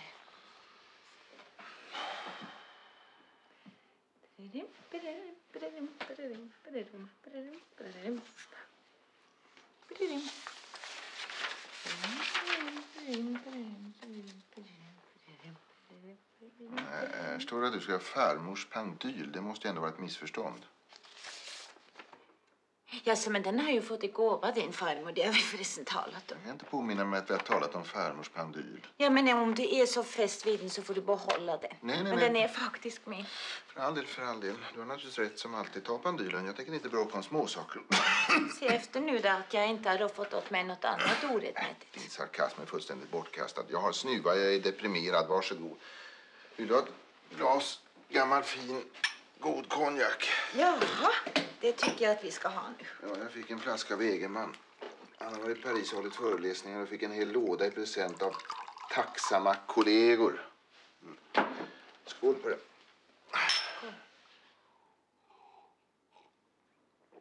Ja, jag tycks... Jag tycker att det gör gott, ja. Jag tycker också det är gott. Jag tycker ju inte om eh, konjak, men den här var något helt speciellt. Jag tycker faktiskt jag känner mig bättre redan.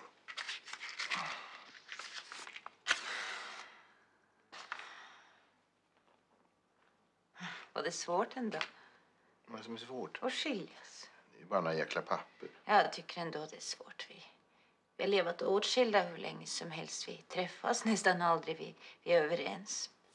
Ändå sitter man här med dåligt samvete. Ja, det är konstigt. Johan. Mm. Ja, men det är så konstigt. Jo, det är konstigt. När jag körde hit så var jag på jättegott humör. Jag hade bestämt mig att jag inte skulle börja gråta, att jag inte skulle låta situationen påverka mig. Sa att du hade dåligt samvete. Johan, ska vi inte sätta oss på soffan? Det är mycket trevligare. Va? Så släcker vi ljuset i taket. Det är mördande. Hur kan du arbeta i ett rum som är så jäkla otrivsamt? Den här soffan är inte heller särskilt bekväm. Och då, om man sätter benen på bordet.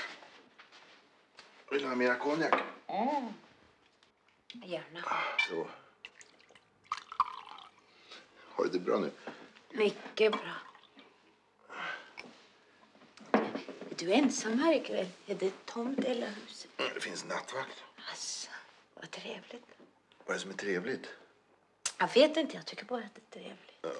Ja, snuva är ingenting trevligt.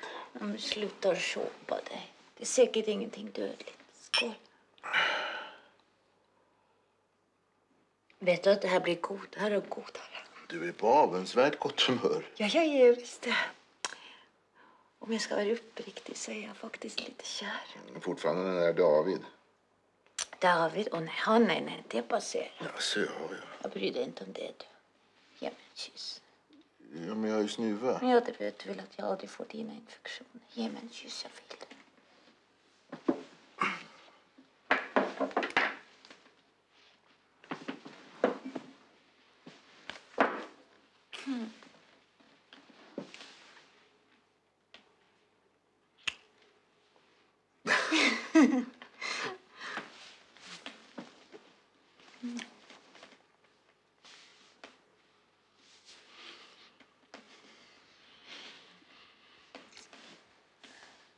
Vad var det som du tänkte dig? Ja, mycket bättre. Man ska lägga hand på mitt bröst. Det tänker du förföra mig? Just vad jag tänker det.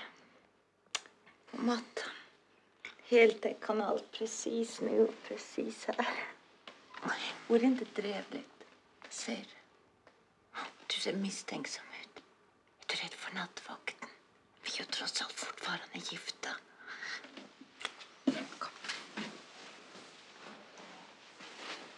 Kom nu och lägg dig ovanpå mig.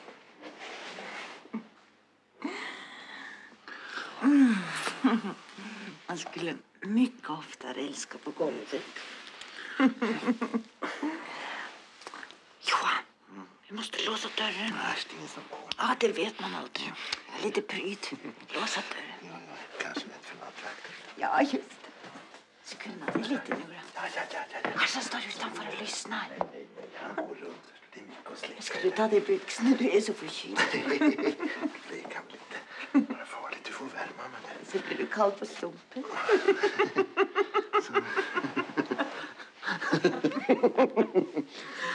Och min stackars lilla man som har det så tråkigt i livet. Att du ska kyssa mig. Jag tycker så väldigt mycket om när du kysser mig. Just det, så gott. Johan. Tänk om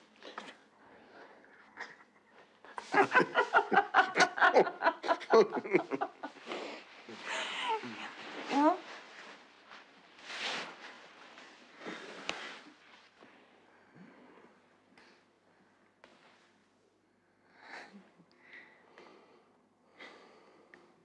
Du ska blunda. Jag blir så medveten när du tittar på mig. Mm. Och ska du lägga händerna på mina höfter. Så där. Det är skönt. Mm. Tänk om nattvakten kommer nu. Då får han vara med. För vi är så gränslöst förgjorda. Mm. Ska vi stanna här hela natten? Så ska vi bara dricka och älska. Och imorgon ska vi lämna in skilsmässopapper. Mm.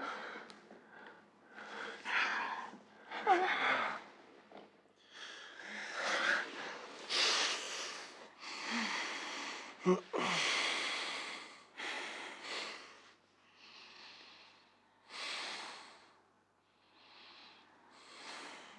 tänker du på?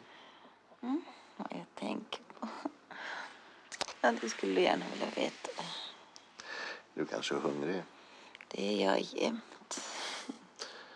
Du skulle vara med en råbiff och ett stort glas öl. Vad tycker du? Skulle det inte smaka? Inte får du gå på krogen med mig. Jag? Jag är ju i Uppsala med eleverna. Stackars Paul. Ja, i så fall går jag gärna med dig ut på supé. Mm. Så har du någon toalett i närheten? Till vänster i korridoren. Du ser det med detsamma.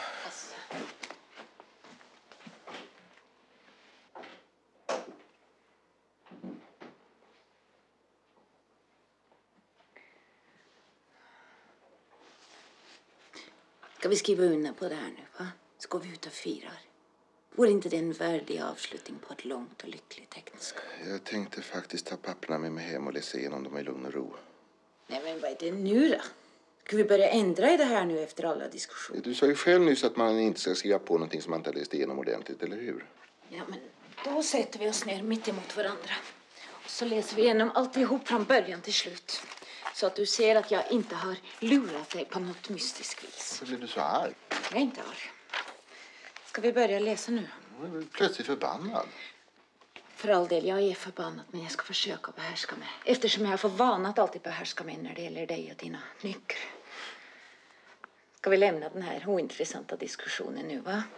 Det är faktiskt ganska sent och jag har en arbetsdag imorgon också. Så nu ska vi inte gå ut och äta heller? Nej tack, det får vara. Jag, jag är så tacksam för de nådebevis som redan har vederfarits mig. Men är det nu som har nyckel? Nej men hör du Johan!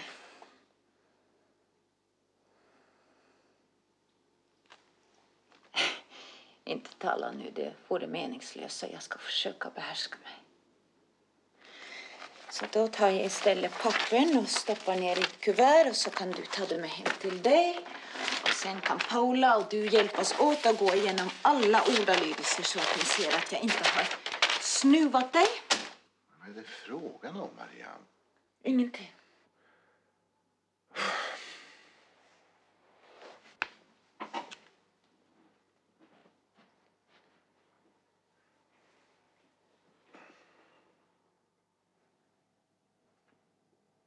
Vi var ju så goda vänner nyss. Ja, just det.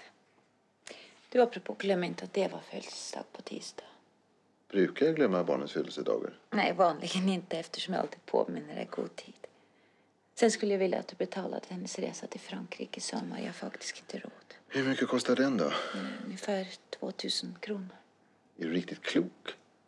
Varifrån ska jag plötsligt ha 2000 kronor? Det är otänkbart. Då kan väl din mamma betala det? Jag har redan lånat alldeles för mycket pengar av mamma. Ja, jag har i varje fall inte råd. Karins tandreglering kostade mer än 1000 kronor. Kan de inte få tandvård i skolan då? Ja, men du vet lika bra som jag varför Karin inte går i skoltandvård. Eva får väl ställa in sin Frankrike-resa. Jag har inga pengar. Skada förresten inte att de lär sig begripa att man inte kan få allting man pekar på här i världen. Hon är så in i helvete bortskämd så det är intressant och ouppfostrad. Hon var hemma hos mamma i förra veckan. Mamma ringde och var fullkomligt skakad över hennes uppförande. Sa din mamma det? Det är hopplöst. Men hon är i en svår ålder. Lite pli får du väl sätta på jäntorna. De får inte regera hur som helst. Vad är det för prata? Jag har deras fulla förtroende. Vi talar med varandra om allting och det är jag väldigt tacksam för. Sen får man strunta i sånt yttre som uppförande och det du kallar bortskämdhet. Hur som helst, jag har inga pengar för Evas Frankrike-resa. Det får du hälsa henne. Det får du tala om för henne själv. Varför det? Det är ju du som har vårdnaden. Jag betalar bara ett jäkligt stort underhåll som jag dessutom måste skatta för. Som totalt urholkar min ekonomi. Ibland tycker jag att du och jag är som två bortskämda och favoriserade söndagsbarn. Som har slösat bort våra resurser och plötsligt står vi där fattiga och bittra och arga. Jag ska tala om någonting banalt för dig. Vi är känslomässiga analfabeter. Vi har fått lära oss allt om kroppen och om åkerbruket i Pretoria och om kvadraten på hypotenusan som är lika med summan av kvadraterna på katetern och allt det där. Men vi har inte fått lära oss ett enda ord om själen. Vi är bottenlöst ohyggligt okunniga både om oss själva och andra. Jaha, nu gäspar du. Därför är föredraget slut. Jag har förresten inte mer att säga. Ska du ha ett glas konjak till? Ja. Så kan vi sen bestämma hur vi ska göra med den där supén.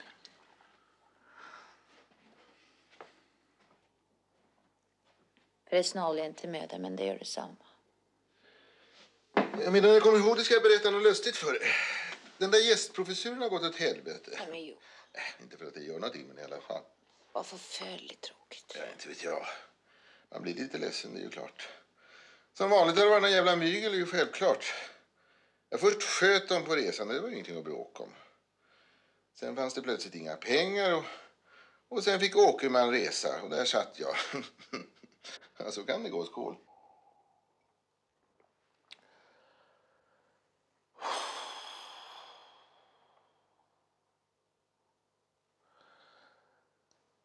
Jag fyller 45 år till sommaren. Rimligtvis kan jag leva i 30 år till. Ja. Objektivt sett är jag redan ett kadaver. I 20 år kan jag gå och förbittra mitt eget och andras liv bara genom att finnas till.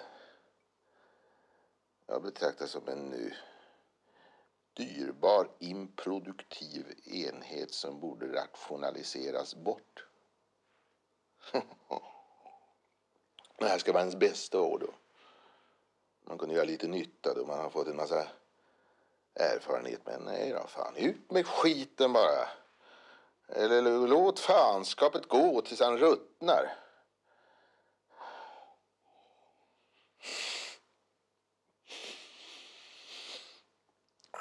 Jag är så in i helvete trött. Marianne. Jag vet knappast längre vem jag är.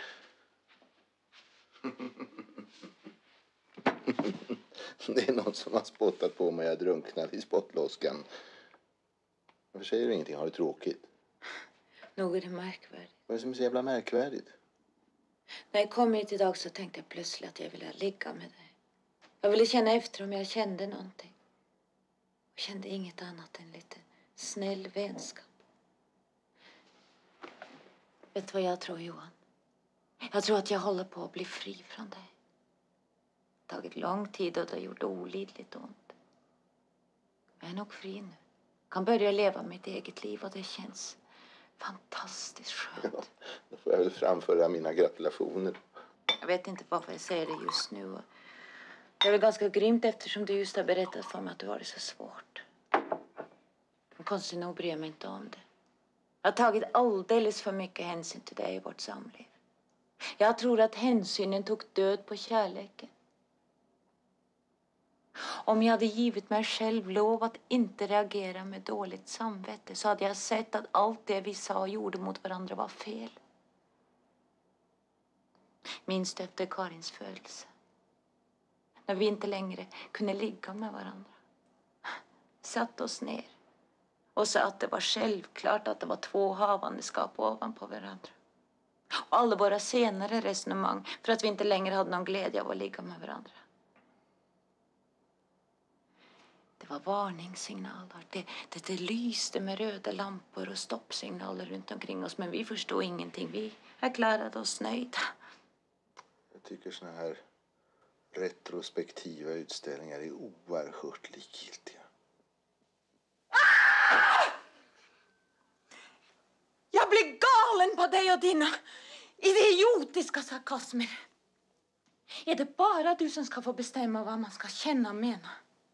Fy fan vad jag hatar dig egentligen. Jag kommer ihåg att jag tänkte det ganska ofta. Fy fan vad jag hatar henne. Särskilt när vi hade legat med varandra. Jag hade känt din tankspriddhet och likgiltighet. Och så var vi ute i badrummet efteråt och du satt där naken på bidén och tvättade och tvättade det där äckliga som kom från mig och som du tyckte luktade så jävla illa.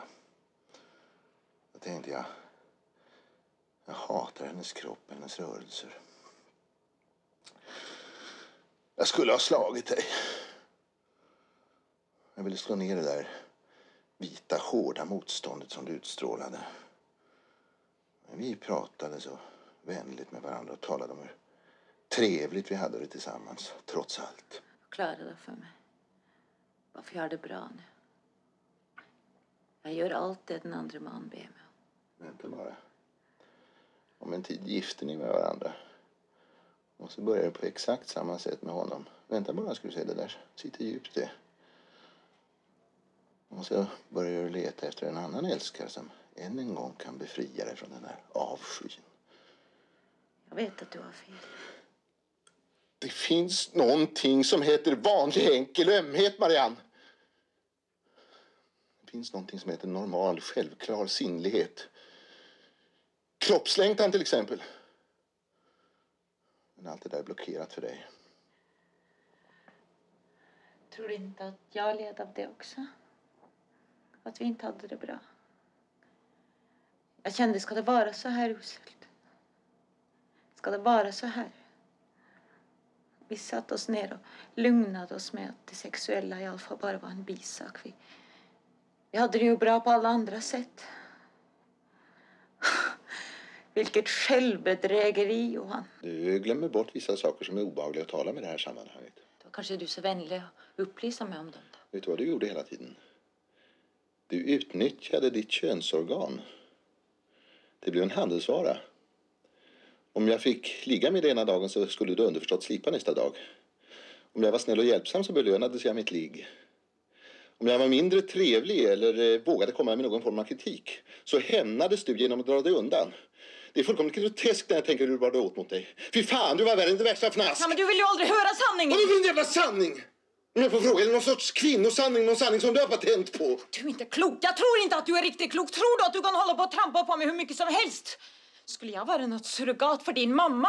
Och aldrig annat än ett tjat om att jag försummade hemmet, att jag lät mitt yrke gå i första hand. Det är verkligen inte sant! Jo, det är verkligen sant! Jag hörde aldrig annat i första åren av vårt äktenskap. Och det enda ni lyckades med var att ge mig dåligt samvete. Du och din mamma och dina föräldrar. Jag hade dåligt samvete på arbete och jag hade dåligt samvete när jag var hemma. Och sen skulle jag ha dåligt samvete för att jag inte var någon bra älskarinna också. Det var krav och ofrihet överallt. Det var gnäll och tjat och krav. Och fan ta dig!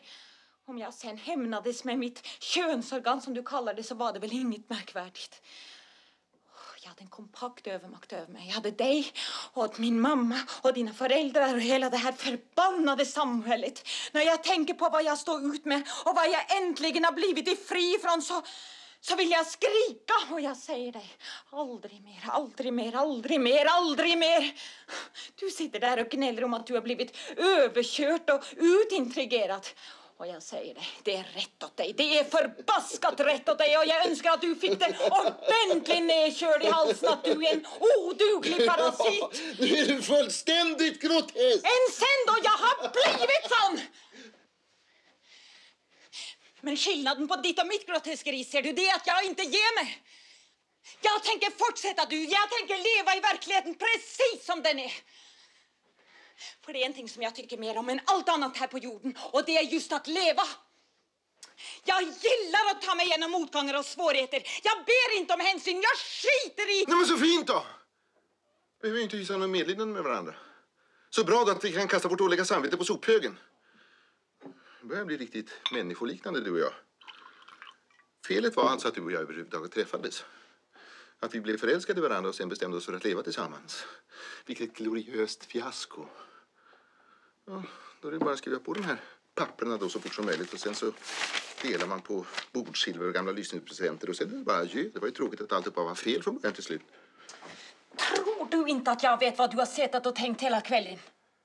Du vill inte ha någon skilsmässa. Det var det dummaste jag hört. Om det är så dumt så kan du väl bevisa motsatsen då genom att skriva på pappern här och nu. Ja, för all del. Johan, om du ska vara ärlig. Johan, se på mig. Se på mig, Johan! Du har ångrat dig. Du vill inte skiljas. Du hade tänkt tala om det för mig idag, va? Svara ärligt nu. Ja, om jag hade några tankar i den riktningen skulle det vara en förbrytelse det. Jag erkänner mig besegrad, det är det du vill höra. Jag är trött på Paula. Jag längtar hem. Jag vet alltihop, du behöver inte se på mig med det där leendet.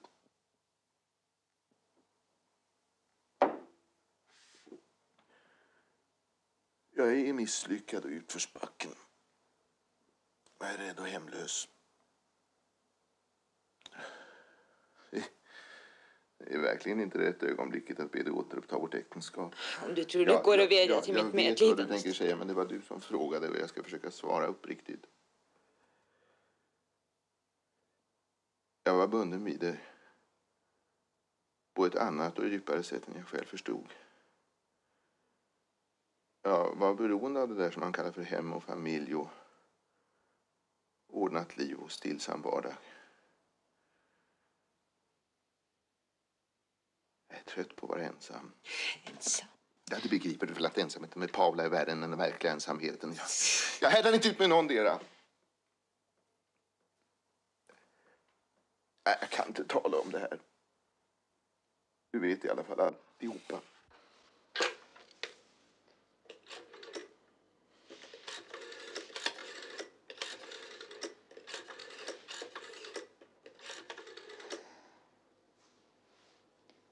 Ja, ska jag få en bild till Malmrosgatan 45?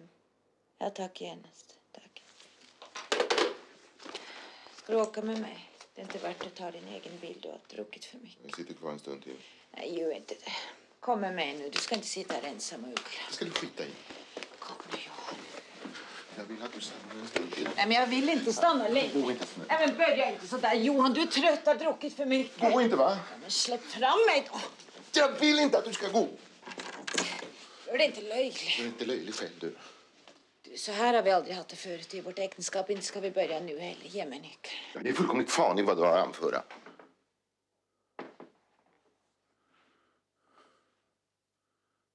Nu ser jag hur det surrar i Marians välplanerade skalle. Vad gör jag nu? Han blir galen. Tänker han kanske slå mig. Om du vill veta så tycker jag att du är vansinnigt komisk. Så. Alltså, du tycker jag är komisk. Varför skrattar du inte då? Jag tycker mer att du ser rädd ut. Du, låt mig åtminstone få ringa taxi det?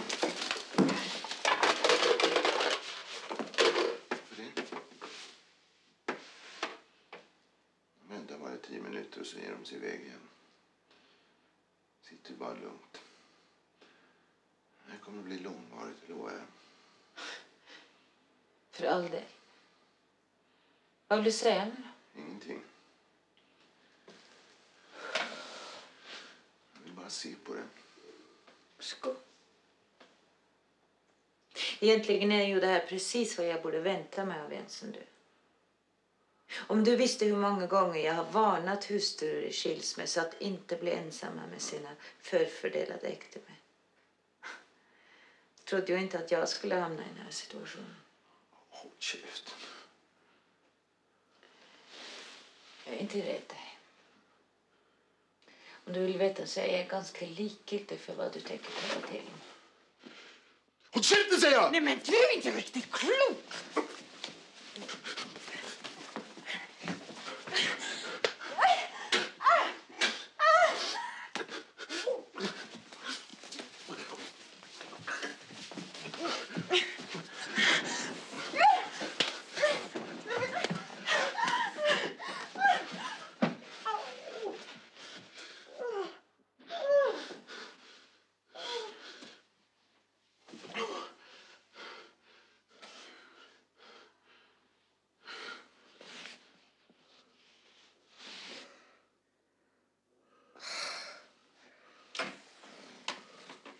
Jag kanske kan få låna nyckeln så jag kan gå och törka av blodet. Jag släpper inte ut dig. Åh, din jävla förbannade Tokig du din jävla apa! Ska du hålla på på det där sättet? va? Så... Jag skulle kunna döda dig! Jag skulle kunna döda dig! Jag skulle kunna döda dig! Jag skulle kunna döda dig!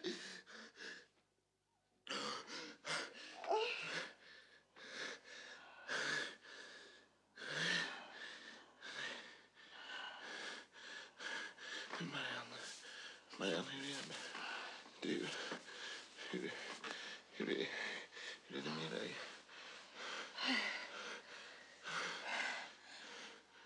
Jag hade med mig mig själv att skylla.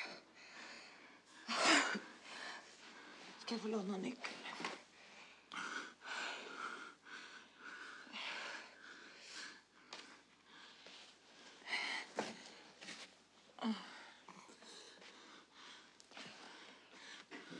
Du, ska jag hjälpa dig?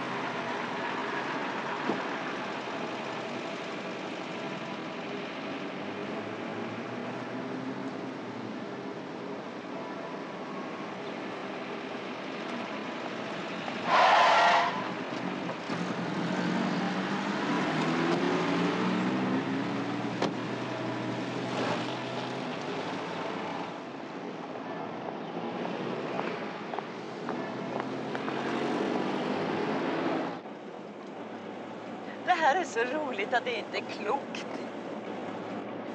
Jag var ute i sommarhuset igår och gjorde i ordning. Jag satte på värmen och satte igång kylskåpet och städade och handlade in mat. Det är precis som på gamla tiden. Hur länge sedan är det egentligen jag var där? Ja, det, det är sju år tror jag. Du själv då? Ja, det är allt mer sällan nu för tiden. Henrik gillar inlandet bättre. Vi hyr ut för det mesta. Flickorna och jag är där nu då och då, men eh, inte så ofta.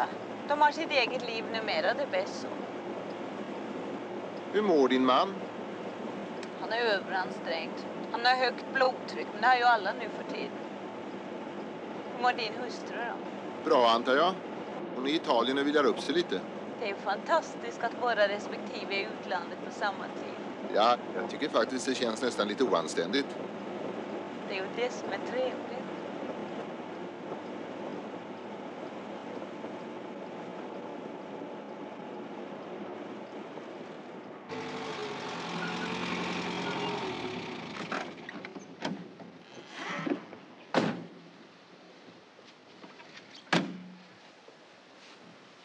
Ja, det ser ganska likt tycker jag. Det är lite slitet bara. Vi skulle behövt reparera det, men det har vi faktiskt inte råd med.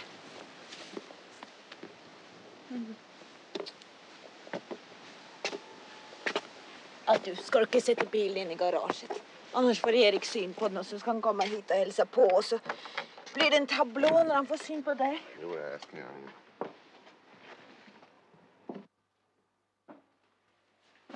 Ska du inte göra det nu? Jag kan väl köra in bilen sen.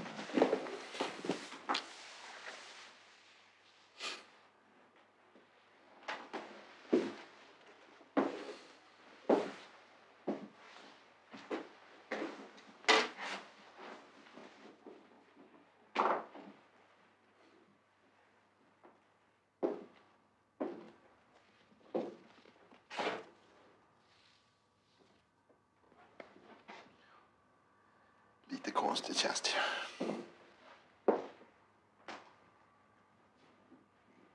Kan vi inte ta och lägga oss på sängen ett tag? hörru? Kom nu. Jag är inte klok. Jag är ju nervös som om det vore första gången. Men det är det faktiskt inte. Kom.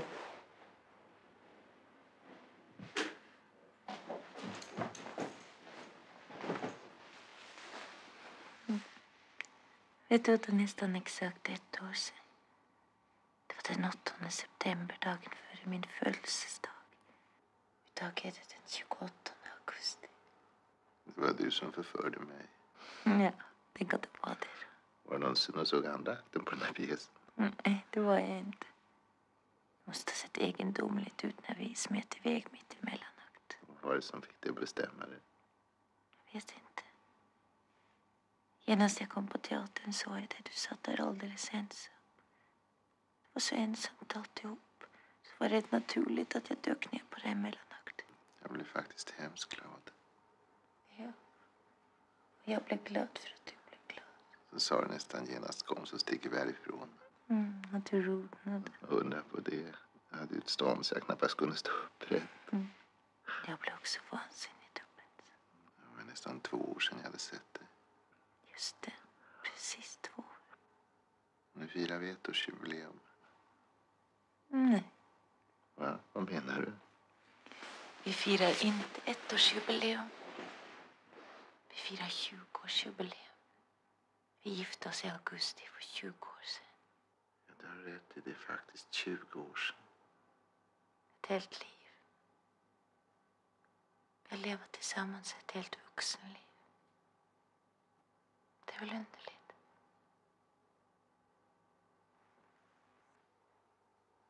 Käraste. Käraste min. Det är så konstigt. Vi sitter där i den där gamla förbaskade sängen. Det var annorlunda på våra hotellrum. De var lagom opersonliga. Det var nog dumt av oss att fara hit i alla fall. Vi skulle kanske ha varit i Danmark så vi inte gör det. Nej, men det hade vi ju inte tid till. Går utmärkt. Nej, det går inte alls ut. Vet du vad vi gör? Nej, men det, jag vänjer mig. Du, jag ringer till Fredrik. Han har en liten stuga nere vid havet. Nej, men nu ska vi komma in där då. Det finns väl någon granne som har... Nej, du, det är ingen idé. Försök. Det kostar väl ingenting att försöka.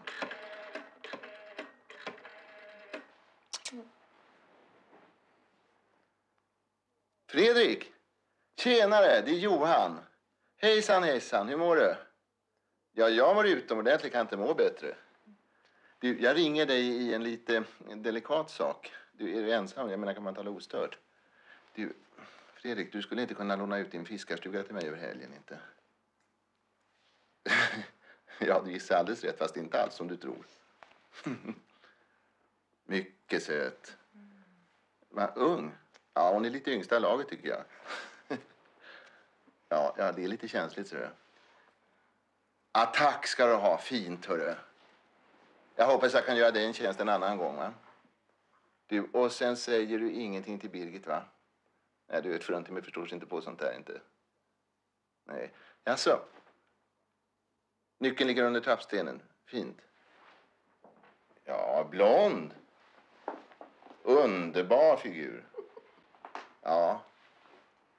Ja, jag kan ringa dig, va? Ja, hemskt hyggligt, hör du. Fint. Tack ska du ha. Och hälsa Birgit. Nej, det kan du förresten låta bli. Ja, det blir bara missförstånd. Fint. Hej, vi ses. Ja, jag hittade. Jättetrevligt. Det var Här är trappstenen. Det måste ligga här. Ser du? Här.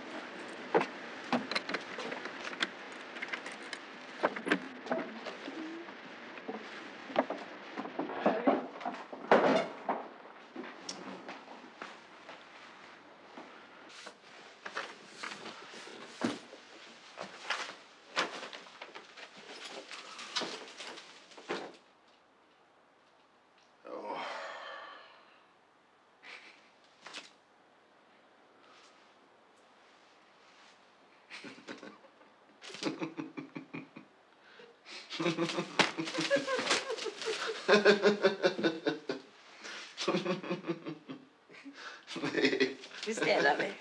ja, det städar vi.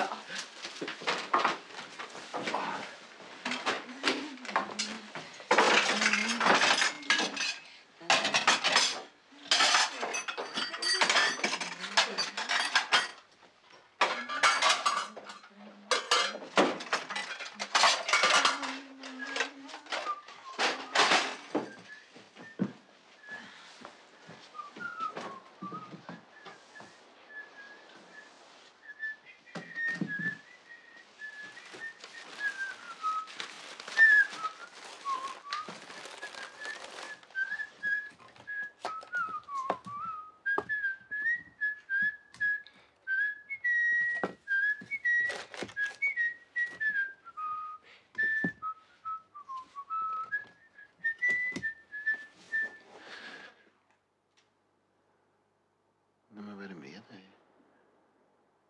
Gråter du? Du är så rörande. Jag är ju inte klok. Är jag rörande? Det var som fan. Du är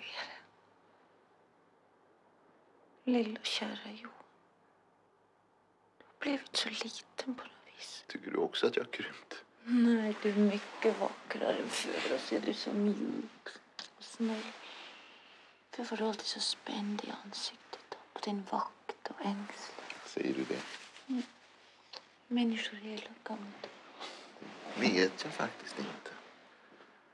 Jag tror kanske att jag har slutat försvara mig. Det var någon som sa att jag hade blivit slapp och eftergiven och att jag förminskade mig själv. Men det är inte sant. Jag, jag tror snarare att jag har funnit mina rätta proportioner. Att, att jag med en viss ödmjukhet har accepterat mina gränser. Det gör mig snäll och kanske lite sorgsen. Du som hade så stora förväntningar. Nej, det stämmer ju inte. Det var min familj som hade stora förväntningar, inte jag. Men jag vill ju så gränslöst gärna göra dem till viljes. Du vill veta hur jag har det med min man? Mm. Att vi överhuvudtaget gifte oss var en dumhet. Vi tog det närmast som ett skämt. När träffades ni? Det var några år sedan.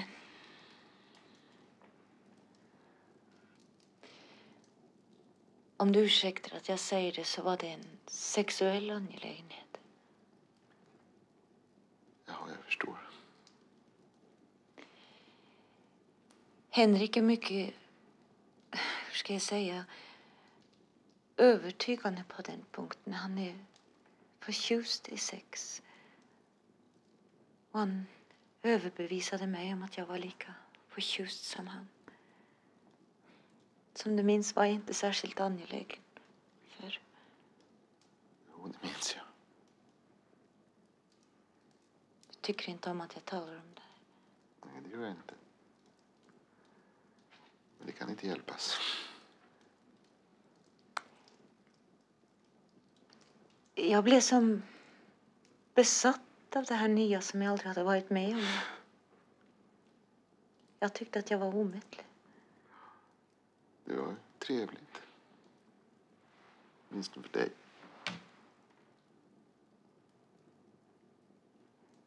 Jag blev genast oerhört bunden vid Henrik.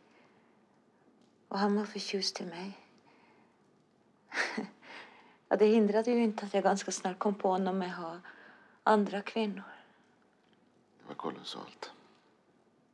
Jag blev vansinnigt förödmjukad och sårad. Jag blev till och med svartsjuk. Blev du svartsjuk? Jag kunde tänka det. Vi hade ett våldsamt uppträde, det vill säga jag var våldsam och bad honom dra åt helvete. Och då gjorde han det. Jaha. Vad gjorde han? han? Han sa att jag var överspänd och så gick han. Efter några veckor tiggde jag honom att komma tillbaka. Jo.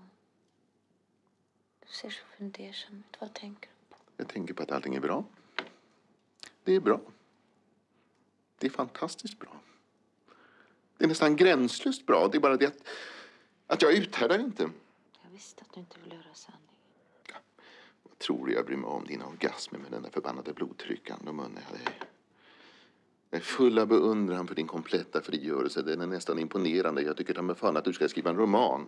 Jag lovar att du kommer att bli applåderad av kvinnosaksprästinnorna. Jag hoppas att du inte är så dum som du låter. Jag säger ju att jag skiter i allt det där. Men det är plötsligt oerhört viktigt. Nej, det är en bisak. Det är bara en liten del i allt det fantastiskt utmärkta som livet bjuder på. Tänk alla våra insikter. Tänk all denna klokhet och medvetenhet. Det är ju storartat, det är nästan fantastiskt. Vi har upptäckt oss själva, det är ju inte klokt. Den ena inser sin storhet, den andra inser sin litenhet. Kan det vara bättre? Här sitter vi så förståndigt och pratar skit om våra respektive män och hustrur. De är praktiskt taget i rummet, vi vinkar åt dem. Det är andlig gruppsex på högsta nivå. Alltsammans är nästan som en lärobok i livskunskap. Det är makalöst, Marianne. Analysen är total, medvetenheten är gränslös. Men jag uthärdar inte. Jag förstår hur du menar. Men jag tycker inte att det är så förfärligt. Jag kan inte leva i det här kalla ljuset över alla mina bemödanden. Om du visste vad jag strävar med min meningslöshet. Gång på gång försöker jag muntra upp mig med att livet har det värde man tillmäter det. Men jag kan inte glädjas åt den sortens snack. Jag vill ha någonting att längta efter. Jag känner inte som du. Jag har förstått det.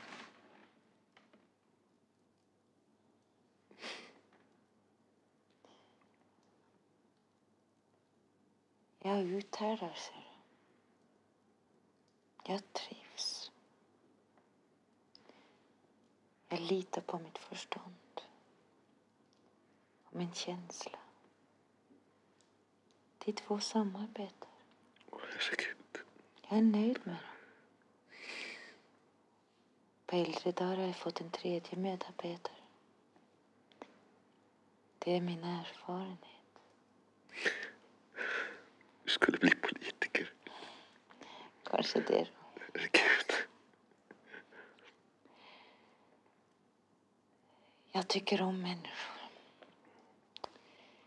Jag gillar förhandlingar, förståndighet, kompromisser. Tränar på ditt valtal, hör jag. Tycker du att jag är så svår? Bara när du predikar. Jag ska inte säga ett ord mer.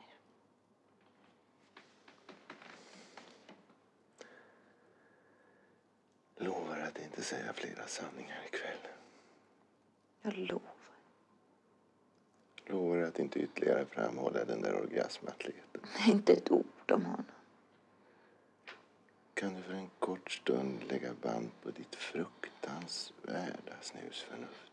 Ja, det blir svårt. Men jag ska försöka. Kan du möjligen, jag säger möjligen, ransonera lite med din gränslösa kvinnokraft? Det blir nödvändigt. Och då så. Då går vi och lägger oss.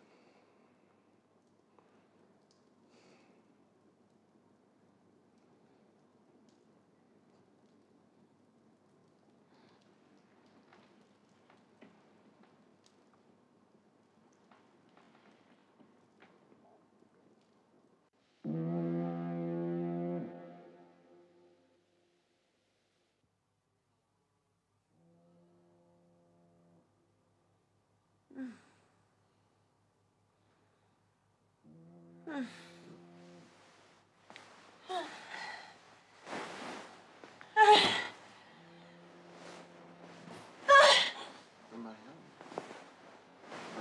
Nej! Marianne, vad är det? Är det så? Såja? Vad är det? Va? Du.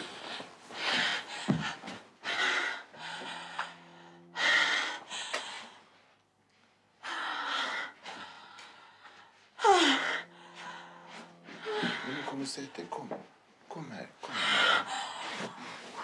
Såja, såja. Såja. Du. Så.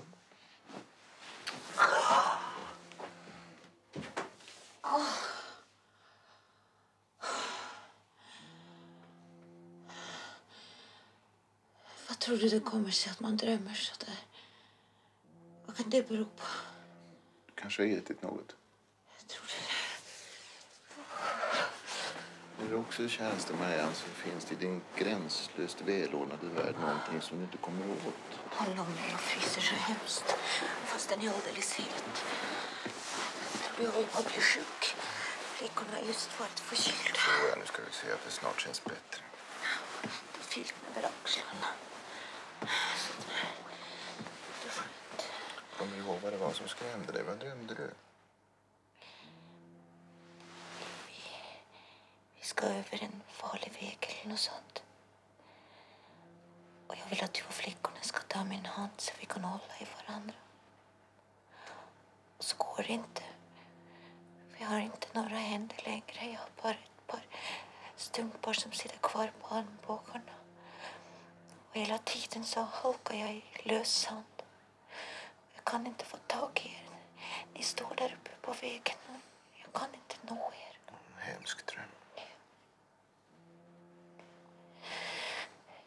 Johan, Ja, min vän. tror du vi lever i absolut förvirring? Du och jag? Nej, vi allihop. Vad menar du med förvirring? Rädsla, osäkerhet, oförstånd. Jag menar förvirring. Tror du att det är så att vi hemligt är rädd för att vi halkar ut för och så vet vi inte vad vi ska ta oss till? Ja, det tror jag. Tror du att det kanske är för sent redan? Ja. Sånt får man bara tänka, inte säga. Så. Johan, Mm. tror du vi har missat någonting viktigt? Vi allihop. Det tror jag. Vad skulle det vara? Och ibland förstår jag hur du känner och tänker. Och jag blir så full av ömhet och jag glömmer bort mig själv. Fast jag inte plånar ut mig själv. Det är en alldeles ny känsla. Förstår du vad jag menar? Jag förstår vad du menar.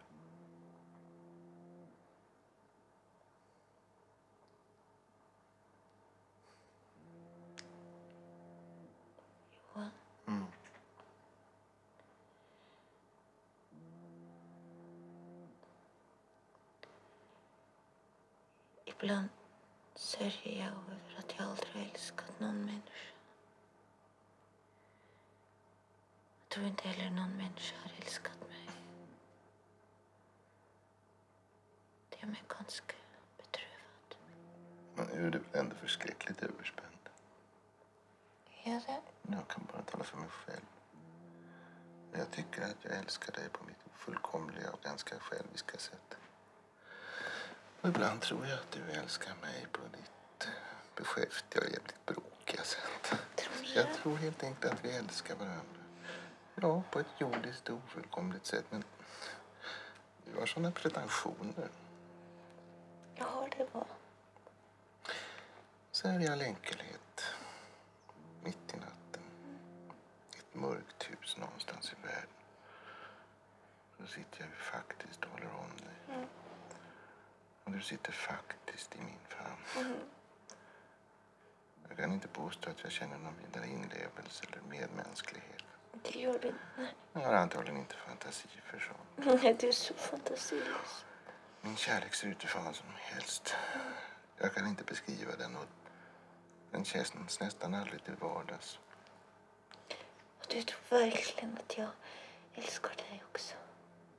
Ja, det tror jag faktiskt. Vi ska inte tjata om saken för då dunstar kärleken av. Nu ska vi sitta här hela natten. Men det ska vi verkligen inte. Ska vi inte det? Mitt ena ben har somnat och min vänstra arm har nästan gått ur led och jag är fruktansvärt sömnig och så fryser jag om ryggen. Ja, men då är det lika bra att vi kryper ner igen. Ja, det tror jag.